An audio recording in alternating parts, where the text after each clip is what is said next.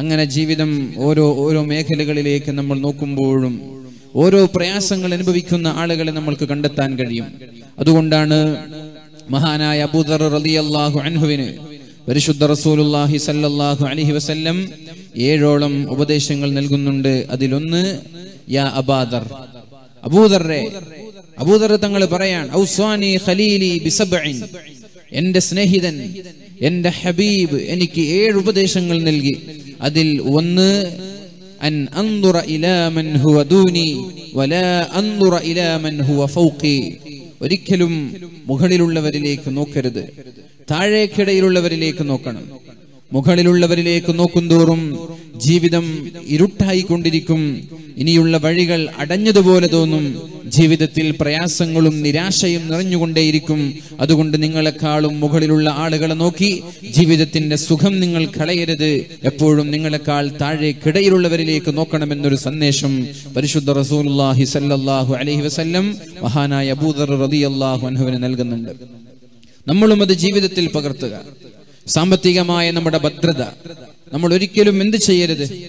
എന്നെക്കാളും സാമ്പത്തികമായി വരുമാനമുള്ളവരെ. സാമ്പത്തിക സാമ്പത്തിക മേഖലകളിൽ വളർച്ചയുള്ളവരെ ഒന്നും നമ്മൾ നോക്കി വ്യാകുലപ്പെടുകയോ വിഷമിക്കുകയോ ചെയ്യാതെ. അള്ളാഹു തന്ന നമ്മുടെ ഞാമത്ത് തിരിച്ചറിഞ്ഞ് എന്നെക്കാളും താഴെ എന്നെക്കാളും പ്രയാസം അനുഭവിക്കുന്ന നൂറ് കണക്കിന് ആളുകളുണ്ടല്ലോ എന്ന് അള്ളാഹു നൽകിയ ഞാമത്തുകൾ തിരിച്ചറിഞ്ഞ് മരണം വരെ സമാധാനത്തോടെ ജീവിക്കാൻ നമ്മളൊക്കെ തയ്യാറാവുക എങ്കിൽ നമ്മുടെ ജീവിതം വളരെ സന്തോഷത്തോടെ ചെലവഴിക്കാൻ കഴിയും. ഒന്നാമത്തെ പോയിന്റ് വളരെ വലിയ പ്രധാനപ്പെട്ട ഒരു പോയിന്റാണത് നമ്മൾക്കൊക്കെ ജീവിതത്തിൽ നിരാശയുണ്ടാവുന്നത് അപ്പോഴാണ് മുകളിലുള്ളവരെ നോക്കുമ്പോഴാണ്. ചെറിയ വീട് ആ സമയത്ത് ഓല കൊണ്ട് മേഞ്ഞ അല്ലെങ്കിൽ ഓട് കൊണ്ട് നമ്മൾ നിർമ്മിച്ചുണ്ടാക്കിയ വളരെ ചെറിയ വീടുകളാണെങ്കിലും ശരി. നമ്മൾ എന്ത് ചെയ്യണം? വീടില്ലാത്തവരെ നോക്കി ആശ്വസിക്കാൻ നമ്മൾക്ക് കഴിയണം. ആ സമയത്ത് തൊട്ടപ്പുറത്തുള്ള മണിമാളിക നോക്കി. ജീവിതത്തിന്റെ സമയം മണ്ണി തീർക്കുക എന്നല്ലാതെ അങ്ങനെ ഒരു വീട് നിർമ്മിക്കാൻ നമ്മൾക്ക് ജീവിതത്തിൽ കഴിയുകയോ എന്നാൽ ഉള്ള കാലത്ത് സന്തോഷത്തോടെ ജീവിക്കാൻ നമ്മൾക്ക് സാധിക്കുകയോ ചെയ്യില്ല. അതുകൊണ്ട് താഴേക്കിടയിലുള്ളവരെ നോക്കി അൽഹംദുലില്ല എന്ന് പറയാൻ നമ്മൾക്ക് കഴിഞ്ഞാൽ അത് വലിയൊരു അനുഗ്രഹമാണ്. അതോടൊപ്പം മഹാനായ അബൂഹുറൈറ റളിയല്ലാഹു അൻഹു അദ്ദേഹവും അതുപോലെ മഹാന്മാരായ സ്വഹാബാക്കളുടെ ഒരു സദസ്സിൽ വെച്ച് പരിശുദ്ധ റസൂലുള്ളാഹി സ്വല്ലല്ലാഹു അലൈഹി വസല്ലം ചോദിക്കുന്നുണ്ട് അന്നി ഹാദിഹിൽ ഞാൻ നിങ്ങൾക്ക് ചില കാര്യങ്ങൾ പഠിപ്പിച്ചു തരാൻ പോവുകയാണ്. ആരാണത് ജീവിതത്തിൽ ഉൾക്കൊള്ളാൻ തയ്യാറാവുന്നത്? മഹാനായ അബൂഹുറൈർ തങ്ങൾ പറഞ്ഞു അനയാ റസൂലല്ലാഹ് അള്ളാഹുവിന്റെ ഹബീബെ ഞാനത് ഏറ്റെടുക്കാനും പഠിക്കാനും ജീവിതത്തിൽ പകർത്താനും മറ്റുള്ളവർക്ക് പറഞ്ഞു കൊടുക്കാനും ഞാൻ തയ്യാറാണ്.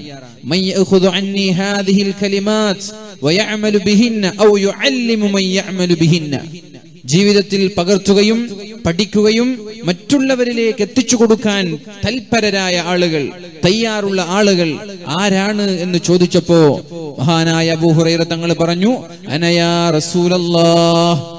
അള്ളാഹുവിന്റെ ഹബീബേ ഞാൻ തയ്യാറാണ് നബിയെ എന്ന് പറഞ്ഞു. അപ്പോഴാണ് റസൂലുള്ളാഹി സല്ലല്ലാഹു അലൈഹി വസല്ലം പറഞ്ഞത് ഇത്തഖിൽ മഹാരിം തകുൻ അബദൻ നാസ്. ജീവിതത്തിൽ ഹറാമുകൾ വരാതെ സൂക്ഷിച്ചാൽ എല്ലാ മേഖലകളിലും ആരാധനകളുടെ മേഖലകളിലും ഒരു സന്തോഷ സന്ദേശമുണ്ട്. അള്ളാഹു താല നമ്മൾക്ക് സന്തോഷം നൽകും. അതുപോലെ തന്നെ ഒരു ടേസ്റ്റ് ഒരു ലദ്ദത്ത് നൽകുമെന്നാണ് പറഞ്ഞത്. ഇത്തഖിൽ മഹാരിം ഹറാമിൽ നിന്ന് വിട്ടുനിൽക്കുമ്പോൾ അള്ളാഹു നമ്മുടെ നിസ്കാരത്തിൽ മാധുര്യം നൽകും. ഹറാമിൽ നിന്ന് വിട്ടുനിൽക്കുമ്പോൾ അള്ളാഹു നമ്മുടെ നോമ്പിൽ മാധുര്യം നൽകും. ഹറാമിൽ നിന്ന് വിട്ടുനിൽക്കുമ്പോൾ നമ്മൾക്ക് തഹജ്ജു നിസ്കരിക്കാൻ കഴിയും. ഹറാമിൽ നിന്ന് വിട്ടുനിൽക്കുമ്പോൾ ജമാഅത്തുകൾ കൃത്യമായി നിർവഹിക്കാൻ നമ്മൾക്ക് കഴിയും. ഹറാമിൽ നിന്ന് വിട്ടുനിൽക്കുമ്പോൾ ദിവസവും പരിശുദ്ധ ഖുർആൻ പാരായണം ചെയ്യാൻ നമ്മൾക്ക് കഴിയും. ഹറാമിൽ നിന്ന് വിട്ടുനിൽക്കുമ്പോൾ ദിഖറുകളിൽ അധിഷ്ഠിതമായ ഒരു ജീവിതം മുന്നോട്ട് നയിക്കാൻ നമ്മൾക്ക് കഴിയും. എന്തുകൊണ്ട് നമ്മുടെ നിസ്കാരങ്ങളിൽ നമ്മൾക്ക് മാധുര്യം ലഭിക്കുന്നില്ല? എന്തുകൊണ്ട് നമ്മുടെ നോമ്പുകളിലും രാത്രിയിലുള്ള തഹജുദ് നിസ്കാരങ്ങളിലും പരിശുദ്ധമായ ഖുർആൻ എടുത്ത് പാരായണം ചെയ്യുമ്പോഴും നമ്മൾക്കൊരു ടേസ്റ്റ് കിട്ടാത്തതിന്റെ കാരണം ജീവിതത്തിൽ ഹറാമുകൾ ഒരുപാട് നമ്മളിൽ സംഭവിക്കുന്നു എന്നുള്ളതാണ്. ജീവിതത്തിൽ ഒരുപാട് ഹറാമുകൾ നമ്മൾക്ക് നമ്മളിൽ സംഭവിക്കുന്നു എന്നതാണ് ഇവിടുത്തെ യാഥാർത്ഥ്യം. അതുകൊണ്ട് ഇത്തഖിൽ മഹാരിം ഹറാം ജീവിതത്തിലേക്ക് വരാതെ സൂക്ഷിക്കണം. എന്നാൽ തക്കുൻ വളരെ മാധുര്യമുള്ള രീതിയിൽ വളരെ ഹുസൂടെ ഭയഭക്തിയോടെ ഇഖ്ലാസോടുകൂടി എല്ലാ ആരാധനകളും അനുഷ്ഠിക്കാൻ കഴിയുമെന്ന് പരിശുദ്ധ റസൂലുള്ളാഹി സല്ലല്ലാഹു അലൈഹി വസല്ലം തഹജ്ജുദ് നിസ്കരിക്കാൻ കഴിയാത്തൊരു പരാതി മഹാനായ ഹസനുൽ ബസരി തങ്ങളോട് ഒരാൾ പറയുന്നുണ്ട് എനിക്ക് തഹജ്ജുദ് നിസ്കരിക്കാൻ കഴിയുന്നില്ല. അപ്പോഴാണ് ഹസനുൽ ബസരി തങ്ങൾ പറഞ്ഞത് നീ നിന്റെ ജീവിതത്തിൽ ഹറാമുകളും തിന്മകളും ചെയ്യുന്നത് കൊണ്ട് നീ ചെയ്യുന്ന തിന്മകളാണ് നിന്നെ തഹജ്ജുദ് നിസ്കാരത്തിൽ നിന്ന് തടയുന്നത്. ഇവിടെ കൂടിയിരിക്കുന്ന നമ്മൾക്കൊക്കെ കൃത്യമായി തഹജ്ജുദ് നിസ്കരിക്കണമെന്ന് ആഗ്രഹിക്കുന്നവരാണ്. നന്നാവണം എന്ന് ആഗ്രഹമില്ലാത്ത ഒരാളും നമ്മളിൽ ഉണ്ടാവില്ല നന്നാവണം എനിക്ക് തഹജ്ജുദ് നിസ്കരിക്കണം സുബഹയ്ക്ക് ജമാഅത്തിന് പള്ളിയിൽ പോകണം എന്നൊക്കെ ആഗ്രഹിച്ച് കിടന്നുറങ്ങുന്ന ആളുകൾക്ക് വരെ തഹജ്ജുദ് നിസ്കരിക്കാൻ കഴിയാറില്ല. പലപ്പോഴും സുബഹ നിസ്കാരങ്ങൾ ജമാഅത്ത് പോയി അതാ ആയി നിർവഹിക്കാൻ പോലും കഴിയാറില്ല. അതിന്റെ പിന്നിലുള്ള കാരണം നമ്മൾ കണ്ടെത്തുകയാണെങ്കിൽ ഹറാമുകൾ ജീവിതത്തിൽ വരുന്നതാണ് എന്ന് നമ്മൾക്ക് മനസ്സിലാക്കാൻ കഴിയും. തെറ്റുകൾ വരുന്നതിനനുസരിച്ച് അള്ളാഹു നമ്മൾക്ക് നൽകേണ്ട റിസുക്കുകളെ തടയുമെന്നാണ്. തെറ്റുകൾ ജീവിതത്തിൽ വരുന്നതിനനുസരിച്ച് അള്ളാഹുവിലേക്ക് അടുക്കാനുള്ള വഴികൾ അടഞ്ഞു പോകുമെന്നാണ് അതുകൊണ്ട് കഴിവിന്റെ പരമാവധി ഹറാമുകൾ ജീവിതത്തിൽ വരാതെ ഇനി ഹറാമുകൾ വന്നാൽ തന്നെ ഉടനെ തന്നെ തൗബ ചെയ്ത് അള്ളാഹുവിനോട് മാപ്പ് ചോദിച്ച് അള്ളാഹുവിലേക്ക് തൗബ ചെയ്ത് പശ്ചാത്തപിച്ച് മടങ്ങി അള്ളാഹുവിന്റെ അടുപ്പക്കാരനായി മാറാൻ നമ്മൾ ശ്രമിക്കണം. അള്ളാഹു തൗഫീക്ക് നൽകട്ടെ. രണ്ടാമത്തെ വിഷയം മഹാനായ അബൂഹുറൈറ തങ്ങളോട് അള്ളാഹുവിന്റെ ഹബീബായ റസൂലുല്ലാഹി സല്ലല്ലാഹു അലൈഹി വസല്ലം പറയുന്നുണ്ട്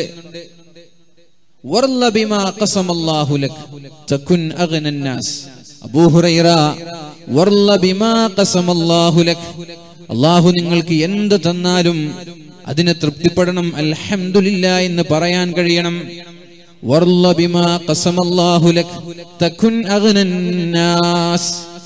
നാട്ടിലെ ഏറ്റവും വലിയ കോടീശ്വരനായി നാട്ടിലെ ഏറ്റവും വലിയ മുതലാളിയായി മാറാൻ നിനക്ക് കഴിയുമെന്ന് പരിശുദ്ധ റസൂലുള്ളാഹി സല്ലല്ലാഹു അലൈഹി വസല്ലം എങ്ങനെയാണ് ഒരാളുടെ സമ്പത്ത് കോടീശ്വരനാണോ മുതലാളിയാണോ ധനികനാണോ എന്ന് എങ്ങനെയാണ് വിലയിരുത്തുന്നത്? അയാളുടെ മാനസികമായ ആ ഒരു സംതൃപ്തി നോക്കിയിട്ടാണ് അയാൾ മുതലാളിയാണോ ദരിദ്രനാണോ എന്ന് വിലയിരുത്തുന്നത്.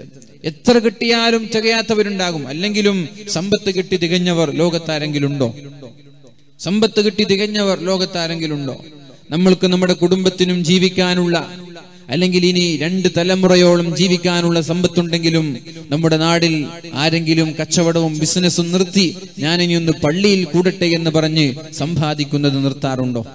നൂറ് ഔട്ട്ലെറ്റുകളും നൂറ് ഷോറൂമുകളും നൂറ് മാളുകളുമൊക്കെ നമ്മുടെ നാടുകളിൽ വ്യക്തികൾ തുടങ്ങിക്കൊണ്ടിരിക്കുന്ന സാഹചര്യം. ഒരു മാൾ മതി തലമുറയോളം തിന്ന് ജീവിക്കാനും തലമുറയ്ക്ക് സാമ്പത്തികമായി അനന്തരാവകാശം ബാക്കി വെക്കാനും. എന്നാലും ആളുകൾ സമ്പത്ത് കിട്ടി എനിക്ക് മതി എന്ന് പറഞ്ഞ് നിർത്തിവെക്കുന്നത് കച്ചവടം നിർത്തുന്നത് ഇന്നുവരെ നമ്മൾ കണ്ടിട്ടില്ല. ഏതായാലും നമ്മുടെ നാട്ടിൽ ഒരു മുതലാളി എന്ന് പറയുന്നത് അള്ളാഹു എന്ത് തന്നാലും അള്ളാഹു എന്ത് തന്നാലും അതൊരു തലവേദനയാണെങ്കിലും ശരി. ക്യാൻസർ ആണെങ്കിലും ശരി. അള്ളാഹു നൽകുന്നത് സാമ്പത്തികമായ ബാധ്യതകളാണെങ്കിലും ശരി.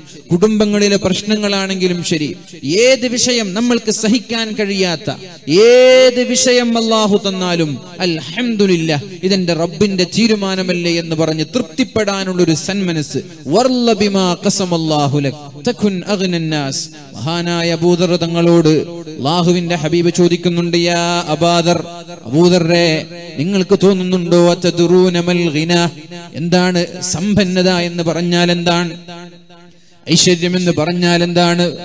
അബൂദർ തങ്ങളോട് അള്ളാഹുവിന്റെ ഹബീബ് ചോദിക്കുമ്പോൾ അബൂദർ തങ്ങൾ പറഞ്ഞത് അള്ളാഹുവേ സമ്പത്ത് എന്ന് പറഞ്ഞാൽ ഐശ്വര്യവാൻ എന്ന് പറഞ്ഞാൽ മുതലാളി എന്ന് പറഞ്ഞാൽ ഒരുപാട് സമ്പത്തുള്ളവർ ഒരുപാട് കച്ചവട സാമഗ്രികളുള്ളവർ സ്വത്തുകളുള്ളവർ അങ്ങനെ ബിസിനസ് മേഖലകളിൽ സജീവ സാന്നിധ്യമായി അറിയപ്പെടുന്ന പ്രമാണികളായ പണക്കാരാണ് ദർഹമുകളും ദീനാറുകളും ഉള്ളവരാണ് നോട്ടുകെട്ടുകളുള്ളവരാണ് അപ്പോഴാണ് അള്ളാഹുവിന്റെ ഹബീബ് പറഞ്ഞത് അല്ല സമ്പന്നത എന്ന് പറഞ്ഞാൽ മുതലാളി എന്ന് പറഞ്ഞാൽ ഐശ്വര്യം എന്ന് പറഞ്ഞാൽ ഒരുപാട് സമ്പത്തുള്ളവന്റെ പേരല്ല.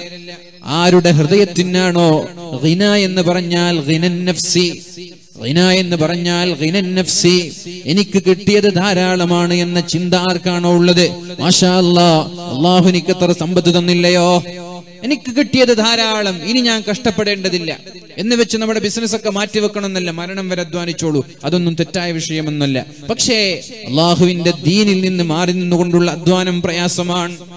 പ്രിയമുള്ള മുഅ്മിനീങ്ങളോട് പറയുന്നത് എനിക്ക് അള്ളാഹു തന്നത് ധാരാളമാണ് എന്ന ചിന്ത ആർക്കെങ്കിലും ഉണ്ടെങ്കിൽ അയാളാണ് ഏറ്റവും വലിയ മുതലാളി. അങ്ങനെ ഒരു ചിന്ത ആർക്കെങ്കിലും ഉണ്ടോ? എനിക്ക് റബ്ബ് തന്നത് കുറച്ചാണ് എന്നല്ലേ നമ്മൾ ചിന്തിക്കുന്നത്? നല്ലൊരു വാഹനമുള്ളവൻ ഉദാഹരണം ഒരു സ്വിഫ്റ്റ് ഉള്ളവൻ ചിന്തിക്കുന്നത് എനിക്കൊരു ഇന്നോവ വാങ്ങാൻ കഴിയുന്നില്ലല്ലോ എന്നാണ്. ഒരു ഇന്നോവ ഉള്ളവൻ ചിന്തിക്കുന്നത് എനിക്കൊരു ബെൻസ് വാങ്ങാൻ കഴിയുന്നില്ല. ബെൻസ് ഉള്ളവന്റെ ചിന്ത പിന്നെ റോൾസ് റോയ്സ്. അത് കഴിഞ്ഞാൽ അവന്റെ ചിന്ത എനിക്കൊരു ഹെലികോപ്റ്റർ അല്ലെങ്കിൽ ഒരു ഫ്ലൈറ്റ് ഇതൊന്നും എനിക്ക് വാങ്ങാൻ കഴിയുന്നില്ല എന്നൊരു ചിന്തയാണ്. ഞാൻ ചോദിക്കട്ടെ ആർക്കെങ്കിലും വല്ല വാഹനങ്ങളിലും വല്ല വീടുകളിലും വല്ല ബിസിനസ്സുകളിലും സംതൃപ്തി മാഷാ അല്ല എനിക്ക് കിട്ടേണ്ടത് കിട്ടി ധാരാളമായി എന്ന ചിന്ത ആർക്കെങ്കിലും ഇവിടെ ഉണ്ടോ?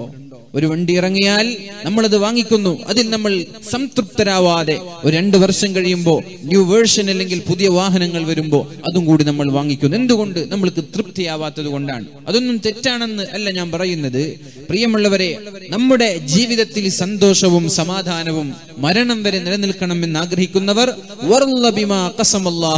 അള്ളാഹു എന്ത് തന്നാലും അതൊരു പക്ഷേ പരീക്ഷണങ്ങളാവാം പ്രയാസമാവാം പ്രാരാബ്ദങ്ങളും ദുരിതങ്ങളുമാവാം. അൽഹംദുലില്ല എന്ന് പറയാനുള്ള ആ ഒരു സന്മനസ് നമ്മൾക്കുണ്ടാവണം. അല്ലാഹു റബ്ബ് സുബ്ഹാനഹു വ തആല തൗഫീഖ് നൽകട്ടെ. മഹാനായ ഉർവത്ത് ഇബ്നു സുബൈർ തങ്ങളുടെ ചരിത്രം നമ്മൾ കേട്ടതാണ്. ഞാൻ വിശദീകരിക്കുന്നില്ല. ഉർവത്ത് ഇബ്നു സുബൈർ തങ്ങൾ ഒരു യാത്രയിൽ യാത്ര കഴിഞ്ഞ് തിരിച്ചു വരുമ്പോഴാണ് കാലിന് അസഹനീയമായ വേദന തോന്നുന്നത്. കാലിന് സഹിക്കാൻ കഴിയാത്തൊരു വേദന വന്നു. കാൽ മുറിച്ചു മാറ്റാൻ പറഞ്ഞു. അദ്ദേഹം കാൽ മുറിച്ചു മാറ്റാൻ സമ്മതം കൊടുത്തു. എങ്ങനെയാണ് മുറിച്ചു മാറ്റേണ്ടത്?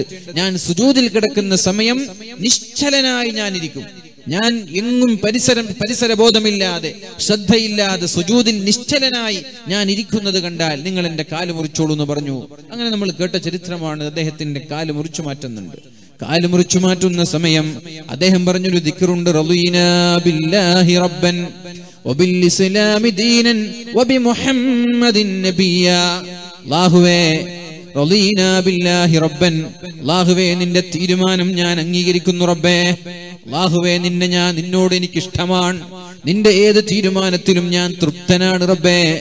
വബിൽ ഇസ്ലാമി ദീനൻ. നിന്റെ ഇസ്ലാം എന്റെ ഇസ്ലാമിൽ ഞാൻ തൃപ്തനാണ്. വബി മുഹമ്മദിൻ നബിയ.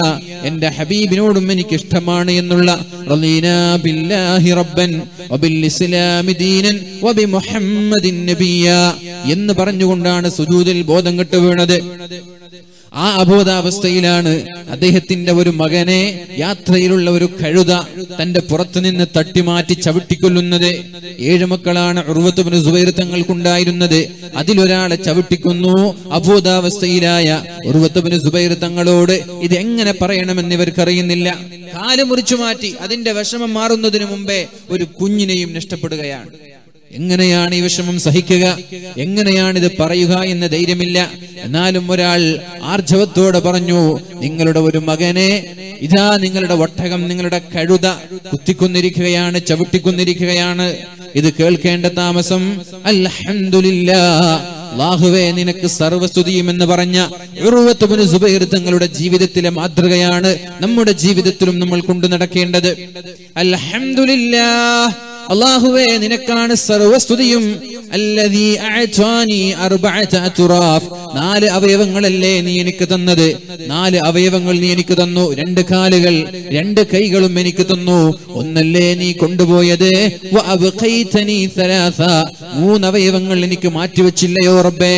അൽഹംദുലില്ലാ രണ്ട് കാലുകളില്ലാത്തവരുണ്ട്. രണ്ട് കാലും രണ്ട് കൈകളും ഇല്ലാത്തവരുണ്ട് രണ്ട് കൈകളില്ലാത്തവരുണ്ട്. നടക്കാൻ കഴിയാത്തവർ ഇരിക്കാൻ കഴിയാത്തവർ അങ്ങനെ ജീവിതത്തിൽ പ്രയാസങ്ങൾ മാത്രം തിന്ന് തിന്ന് ജീവിക്കുന്ന ആയിരക്കണക്കിന് ആളുകൾ ഉണ്ടാകുമ്പോൾ അള്ളാഹുവേ നീ എന്റെ ഒരു കാലല്ലയോ കൊണ്ടുപോയത്? അൽഹംദുലില്ലാ പിന്നെ മകന്റെ വിഷയം അറിഞ്ഞു. അപ്പോഴാണ് പറഞ്ഞത് സബ്അൻ. ഏഴ് മക്കളെ അള്ളാഹുവേ നീ എനിക്ക് തന്നില്ലയോ? അതിലൊന്നല്ലേ നീ കൊണ്ടുപോയത്? ആറെണ്ണം നീ ബാക്കി വെച്ചില്ലയോ റബ്ബേ? ആറ് മക്കളെ നീ ബാക്കി വെച്ചില്ലയോ? ഒന്നല്ലേ നീ കൊണ്ടുപോയത് എന്ന് അള്ളാഹുവിന്റെ ഹബീബിന്റെ അള്ളാഹുവിന്റെ ഹബീബിന്റെ കുടുംബക്കാരനാണ് മഹാനായ ഉറുവത്തുബിന് സുബൈർ തങ്ങൾ. ആ ഉറുവത്തുബിന് സുബൈർ തങ്ങൾ പറയുന്നുണ്ട് അപ്പൊ ഞാൻ പറഞ്ഞു വരുന്നത് പ്രയാസങ്ങളില്ലാത്തവരാരാണ്. മക്കൾ മരിച്ചു പോയേക്കാം കാലുകൾ മുറിഞ്ഞു പോയേക്കാം ക്യാൻസർ ബാധിച്ച് അതുപോലെ തന്നെ ഷുഗർ ബാധിച്ച് ഡയാലിസിസ് ചെയ്യേണ്ടി വരുന്നവരുണ്ട് ഹൃദയം മാറ്റിവെക്കേണ്ടി വരുന്നവർ മാറ്റിവെക്കേണ്ടി വരുന്നവർ ഇങ്ങനെ വ്യത്യസ്തമായ രോഗങ്ങൾ കൊണ്ട് പരീക്ഷിക്കപ്പെടുന്നവർ തളരല്ല ഒരിക്കലും പതറല്ല. അള്ളാഹുവിന്റെ തീരുമാനമാണത്. അള്ളാഹു അള്ളാഹുവിന് ഒരാളോട് സ്നേഹം തോന്നിയാൽ അള്ളാഹുവിന് ഒരാളോട് ഇഷ്ടം തോന്നിയാൽ അള്ളാഹു അയാളെ പരീക്ഷിക്കുമെന്ന് മുഹമ്മദ് റസൂലുള്ളാഹ് അള്ളാഹുവിന് സ്നേഹം തോന്നുന്നതിനനുസരിച്ച് അള്ളാഹു നമ്മെ പരീക്ഷിക്കുമെന്നാണ് സ്നേഹം തോന്നുമ്പോൾ അള്ളാഹു പരീക്ഷിക്കുമെന്നാണ് പരീക്ഷണങ്ങളിലൂടെ ജീവിക്കുന്ന നമ്മൾ മനസ്സിലാക്കേണ്ടത്. അള്ളാഹുവിന് എന്നോട് ഇഷ്ടമുള്ളത് കൊണ്ടല്ലേ ലോകത്താരാണ് പരീക്ഷണങ്ങൾ അനുഭവിക്കാത്തത്? മഹാനായ ആദം നബി അലഹിസലാം മുതൽ അള്ളാഹുവിന്റെ ഹബീബ് വരെയുള്ള പ്രവാചകന്മാരുടെ ശൃംഖലകൾ എടുത്തു നോക്കുമ്പോ ഓരോ പ്രവാചകന്മാരും പരീക്ഷണങ്ങൾക്ക് വിധേയരായവരാണ്.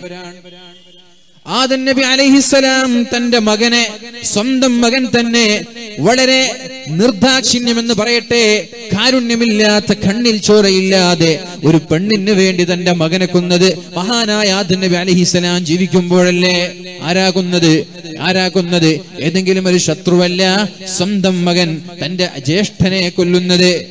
ഹാബീൽ എന്ന് പറയുന്ന മകൻ പെണ്ണിന്റെ പേരിൽ തന്റെ ജ്യേഷ്ഠനായ ഹാബീലിനെ കൊല്ലുന്നത്. മഹാനായ ആദൻ നബി അലൈഹിസ്സലാം ജീവിച്ചിരിക്കുന്ന കാലത്തല്ലയോ ഉണ്ടായത് എങ്ങനെയാണ് ഒരു പിതാവിന് ഇത് സഹിക്കാൻ കഴിയുക ഇബിലീസിന്റെ പിശാച്ചിന്റെ വസ്വാസം മൂലം മറന്നുകൊണ്ടൊരു പ്രവൃത്തി ചെയ്തതിന്റെ പേരിൽ അള്ളാഹു സ്വർഗത്തിൽ നിന്ന് ഭൂമിയിലേക്ക് മഹാനായ ആദൻ നബി അലഹിസ്സലാമിനെ പറഞ്ഞേക്കുകയും മുന്നൂറ് വർഷക്കാലം അള്ളാഹുവിനോട് കരഞ്ഞു കരഞ്ഞു ദ്വാ ചെയ്തില്ലയോ റബ്ബനാ ظلمنا أنفسنا وإن لم تغفر لنا وترحمنا لنكونن മിനൽ ഖാസിരീൻ. അള്ളാഹുവേ ഞാൻ എന്റെ ശരീരത്തോട് അതിക്രമം കാണിച്ചു റബ്ബേ. അള്ളാഹുവേ ഞാൻ എന്റെ ശരീരത്തോട് അതിക്രമം കാണിച്ചു റബ്ബേ. നീ പുറത്തു തന്നില്ലെങ്കിൽ ഞാൻ പരാജിതരിൽ പെട്ടുപോകുമല്ല അതുകൊണ്ട് പുറത്തു തരണേ എന്ന് മുന്നൂറ് വർഷക്കാലമാണ് ദുആ ചെയ്തത്. തന്റെ ഭാര്യയെ കാണാതെ തന്റെ ഭാര്യയെ കാണാതെ ഹൗവാ ബീവിയെ കാണാതെ മുന്നൂറ് വർഷമല്ലയോ? രണ്ടുപേരും അള്ളാഹുവിനോട് ചെയ്ത് ഏകാന്തമായി നടന്നു നീങ്ങിയത് കരഞ്ഞു കലങ്ങിയ കണ്ണുകളുമായി അള്ളാഹുവിലേക്ക് പശ്ചാത്തപിച്ചുകൊണ്ടേയിരുന്നത് പറഞ്ഞു വരുന്നത് ജീവിതത്തിൽ ആരാണ് പ്രയാസങ്ങൾ അനുഭവിക്കാത്തത്? ആദൻ നബി അലഹിസലാം കഴിഞ്ഞു. പിന്നെ മഹാനായ നൂഹ് നബി അലഹിസലാം നൂഹ് നബി അലഹിസലാം കണ്ടില്ലയോ? ആർ തട്ടഹസിച്ചു വരുന്ന തരമാലയുടെ മുമ്പിൽ തന്റെ മകൻ പിടഞ്ഞു വീഴുന്ന സാഹചര്യം. കപ്പലിലൂടെ പിതാവ് സഞ്ചരിക്കുന്നുണ്ട്. പക്ഷേ തന്റെ മകൻ വെള്ളത്തിൽ ഇങ്ങനെ മുങ്ങിക്കൊണ്ടിരിക്കുമ്പോഴാണ് ആർ തട്ടഹസിച്ചു വരുന്ന തരമാലകൾക്കിടയിൽപ്പെട്ട് തന്റെ മകൻ ദാരുണമായി മരണപ്പെടുന്നത് മഹാനായ നോഹനബി അലഹിസലാം കണ്ടില്ലയോ? ഞാൻ ചോദിക്കട്ടെ ഇങ്ങനെ ഒരു പ്രയാസം നമ്മുടെ ജീവിതത്തിൽ നമ്മൾ അനുഭവിച്ചാൽ എന്തായിരിക്കും നമ്മുടെ അവസ്ഥ? എന്തായിരിക്കും നമ്മുടെ സാഹചര്യം? എന്തായിരിക്കും നമ്മുടെ മാനസികമായ അവസ്ഥ എന്തായിരിക്കും? മഹാനായ നോഹനബി അലഹിസലാം ഉടനെ തന്നെ അള്ളാഹുവിനോട് ദുആ ചെയ്തില്ലേ? അള്ളാഹുവേ ഇന്ന വഅദകൽ ഹഖ് അള്ളാഹുവേ നീ ഒരു കരാർ തന്നിട്ടുണ്ട്. നിന്റെ കുടുംബം ഒരിക്കലും നരകത്തിൽ കിടക്കൂല എന്ന കരാർ തന്നിട്ടില്ലയോ? എന്റെ മകനെ ഒരു കാരണവശാലും നീ നരകത്തിൽ കടത്താൻ പാടില്ല റബ്ബേ. എന്റെ മകൻ നരകത്തിൽ കിടക്കാൻ പാടില്ല റബ്ബേ എന്ന് അള്ളാഹുവിനോട് കരഞ്ഞു ദുആ ചെയ്തു മഹാനായ നൂഹ് നബി അലൈഹിസ്സലാം അപ്പോഴല്ലയോ അള്ളാഹു ദേഷ്യപ്പെടുന്നത്? നൂഹ് നബിയെ അറിയാത്ത വിഷയങ്ങൾ എന്നോട് ചോദിക്കരുത്. ഇന്നഹു ഇന്നഹു അമലുൻ നിങ്ങളുടെ മകൻ ഒരു സാലിഹായ മകനല്ല. അതുകൊണ്ട് നിങ്ങളുടെ കുടുംബമല്ല ലൈസമിൻ അഹിലിക്. നിങ്ങളുടെ മകനാണെന്ന് പറയാൻ കഴിയില്ല. അതുകൊണ്ട് നോഹ നബിയെ നിങ്ങളുടെ മകൻ നരകത്തിലായിരിക്കുമെന്ന് അള്ളാഹു സന്ദേ സന്തോഷം അള്ളാഹു സന്ദേശം നൽകിയില്ലയോ? മഹാനായ നൂഹ് നബി അലഹിസ്സലാമിന് ആരാണ് ജീവിതത്തിൽ പ്രയാസങ്ങൾ അനുഭവിക്കാത്തത്? മഹാനായ ഇബ്രാഹിം നബി അലഹിസ്സലാമിനെ കത്തിക്കൊണ്ടിരിക്കുന്ന കത്തിജ്വലിച്ചുകൊണ്ടിരിക്കുന്ന തീക്കുണ്ടാരത്തിലേക്ക് വലിച്ചെറിഞ്ഞപ്പോ യാതൊരു മടിയുമില്ലാതെ മടിയുമില്ലാതെയല്ലയോ അതിലേക്ക് ചാടാൻ ഇബ്രാഹിം നബി തയ്യാറായത്? അതിനേക്കാളും വലിയ പരീക്ഷണമല്ലയോ? നൂറ് വർഷക്കാലം മഹാനായ ഇബ്രാഹിം നബി അലഹിസ്സലാം അള്ളാഹുവിനോട് ദുആ ചെയ്തത്. റബ്ബി ഹബ്ലി മിനസ് സാലിഹീൻ. അല്ലാഹുവേ സാലിഹായ ഒരു കുഞ്ഞിനെ സാലിഹായ ഒരു കുഞ്ഞിനെ താ അല്ലാഹ് റബ്ബി ഹബ്ലി മിനസ് സാലിഹീൻ റബ്ബനാ هب لنا من لدنك ذرية طيبة إنك سميع الدعاء അള്ളാഹുവേ നീ ദുആഇന് ഉത്തരം നൽകുന്നവരാണല്ലോ കൺകുളിർമയുള്ള മക്കളെ നൽകണേ എന്ന് മഹാനാ ഇബ്രാഹിം നബി അലൈഹിസ്സലാം ദുആ ചെയ്തില്ലയോ പിന്നെയും ദുആ ചെയ്തു. ഖുർആനിൽ വ്യത്യസ്തമായ പ്രാർത്ഥനകൾ കാണാം. മക്കളില്ലാത്ത ആളുകൾ അള്ളാഹുവിനോട് നിരന്തരമായി ദുആ ചെയ്യേണ്ട. നാലോളം പ്രാർത്ഥനകൾ പരിശുദ്ധമായ ഖുർആനിൽ കാണുന്നുണ്ട്. ഒന്ന് റബ്ബനാ ഹബ് ലനാ മിൻ അസ്വാജിനാ വദുര്രിയാതിനാ ഖുർറത അഅയുനിൻ വജഅൽനാ ലിൽ മുത്തഖീന ഇമാമാ. രണ്ട് റബ്ബനാ ഹബ് ലനാ മിൻ ലദൂക ദുര്രിയതൻ ത്വയ്യിബ إنك سميع الدعاء. مونة رب هب لي من الصالح رب هب لي من الصالحين. نالي اللهم رب لا تذرني فردا وأنت خير الوارثين. എന്നിങ്ങനെയുള്ള നാല് പ്രാർത്ഥനകൾ പ്രാർത്ഥിക്കാൻ അള്ളാഹു പരിശുദ്ധ ഖുർആാനിലൂടെ പഠിപ്പിച്ചില്ലയോ?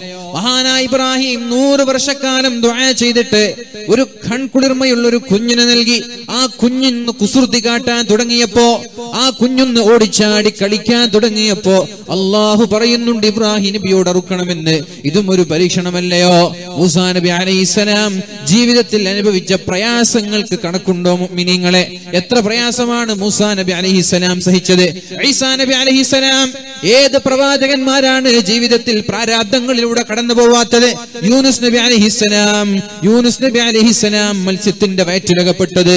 നമ്മൾക്കറിയാത്ത വിഷയങ്ങളല്ലല്ലോ. അയ്യൂബ് നബി അലഹിസലാം വർഷങ്ങളോളം മാരകമായ പ്രയാസങ്ങളിലൂടെ സമയം ചെലവഴിച്ചത്. മാരകമായ പ്രയാസങ്ങളിലൂടെ ജീവിതം തള്ളി നീക്കിയത്. ഇതൊന്നും നമ്മൾക്കറിയാഞ്ഞിട്ടല്ലയോ? ഇനി ഞാൻ ചോദിക്കട്ടെ? ഈ ഒരാഴ്ച മുമ്പ് മലപ്പുറം ജില്ലയിൽ പതിനഞ്ച് വർഷക്കാലം അള്ളാഹുവിനോട് ചെയ്ത് പ്രാർത്ഥിച്ചുകൊണ്ട് അള്ളാഹുവെ മക്കളെ തരണമെന്ന് അള്ളാഹുവെ കുഞ്ഞുങ്ങളെ തരണമെന്ന് അള്ളാഹുവിനോട് നിരന്തരമായി ദുആ ചെയ്ത ദമ്പതികൾക്ക് അള്ളാഹു മക്കൾ നൽകിയത് പതിനഞ്ച് വർഷങ്ങൾക്ക് ശേഷമാണ്.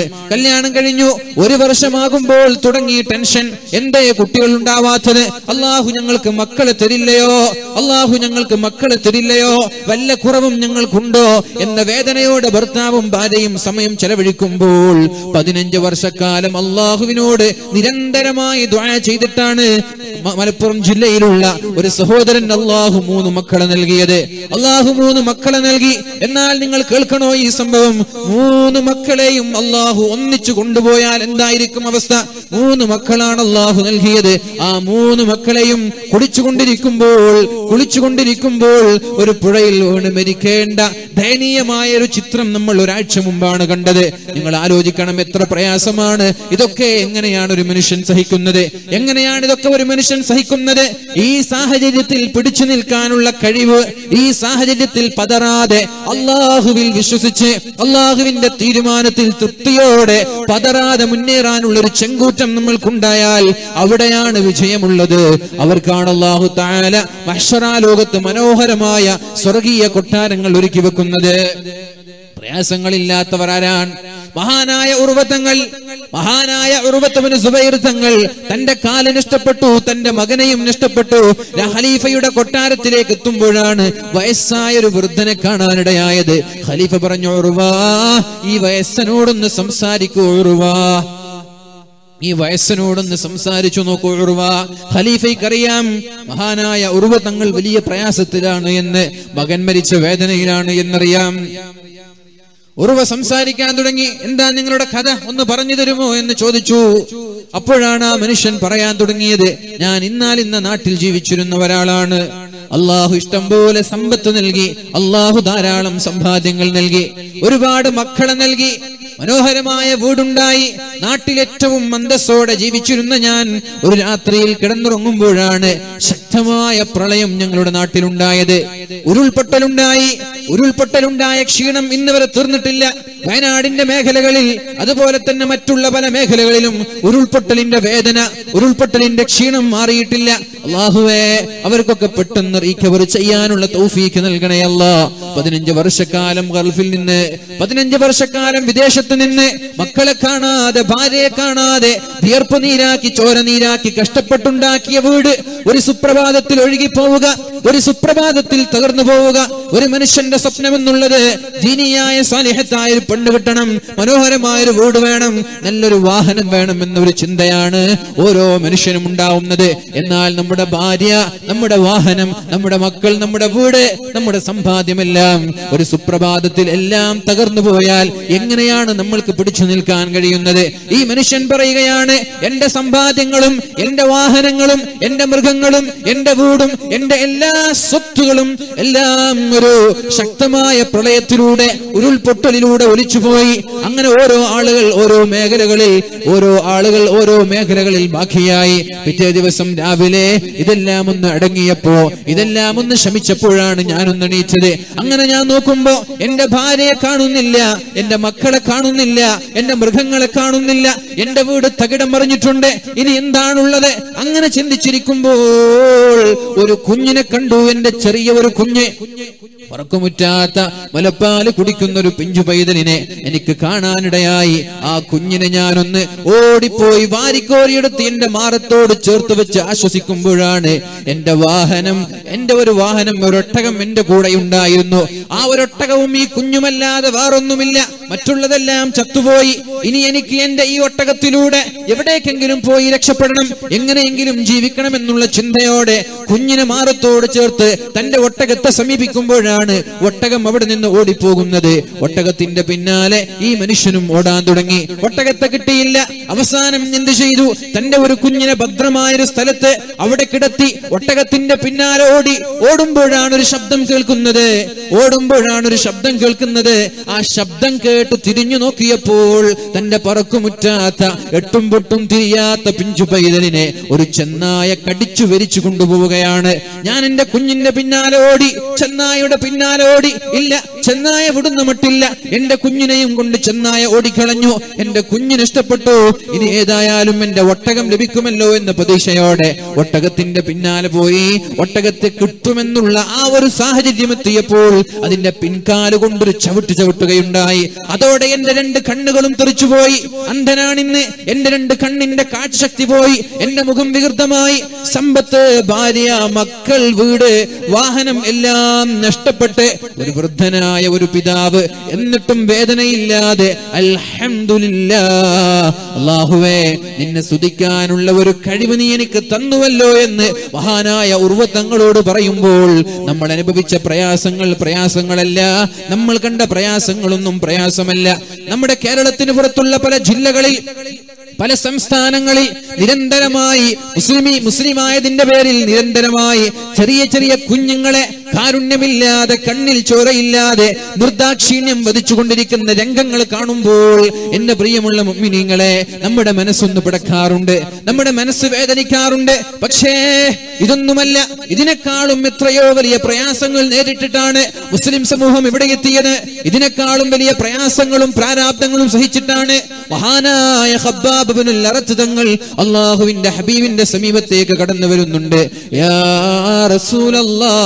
റസൂലല്ലാഹ് അള്ളാഹുവിന്റെ റസൂലേ അള്ളാഹുവിന്റെ ഹബീബേ അലാ തദുല്ലാഹ ലനാ ഞങ്ങൾക്ക് വേണ്ടി അങ്ങ് ദുആ ചെയ്യുന്നില്ലയോ? ഞങ്ങൾക്ക് വേണ്ടി അങ്ങ് പ്രാർത്ഥിക്കില്ലയോ നബിയെ? എത്ര കാലമായി പ്രയാസങ്ങൾ അനുഭവിക്കാൻ തുടങ്ങിയിട്ട് ഒന്ന് ദുആ ചെയ്തുകൂടെ നബിയെ? ഒന്ന് പ്രാർത്ഥിച്ചുകൂടെ നബിയെ? എന്താണ് പ്രയാസം എന്നറിയോ? അടിമയായിരുന്ന മഹാനായ അറത്ത് തങ്ങൾ എന്ന് പറഞ്ഞ് ഇസ്ലാമിലേക്ക് കടന്നു വന്നതിന്റെ പേരിൽ അദ്ദേഹത്തിന്റെ യജമാനനും നാട്ടിലെ ധിക്കാരികളായ ബഹുദൈവ വിശ്വാസികൾ വലിയ ഒരു അടുപ്പുണ്ടാക്കുകയാണ് എന്നിട്ട് ആ അടുപ്പത്തേക്ക് മഹാനായ ഹബ്ബാബ് തങ്ങളുടെ കയ്യും പിടിച്ചു കൊണ്ടുവരുന്നുണ്ട്. ഹബ്ബാബ് തങ്ങളുടെ കുപ്പായം മാറ്റിവെക്കുന്നുണ്ട് എന്നിട്ട് മലർത്തി കിടത്തുകയാണ് അടുപ്പത്തേക്ക്.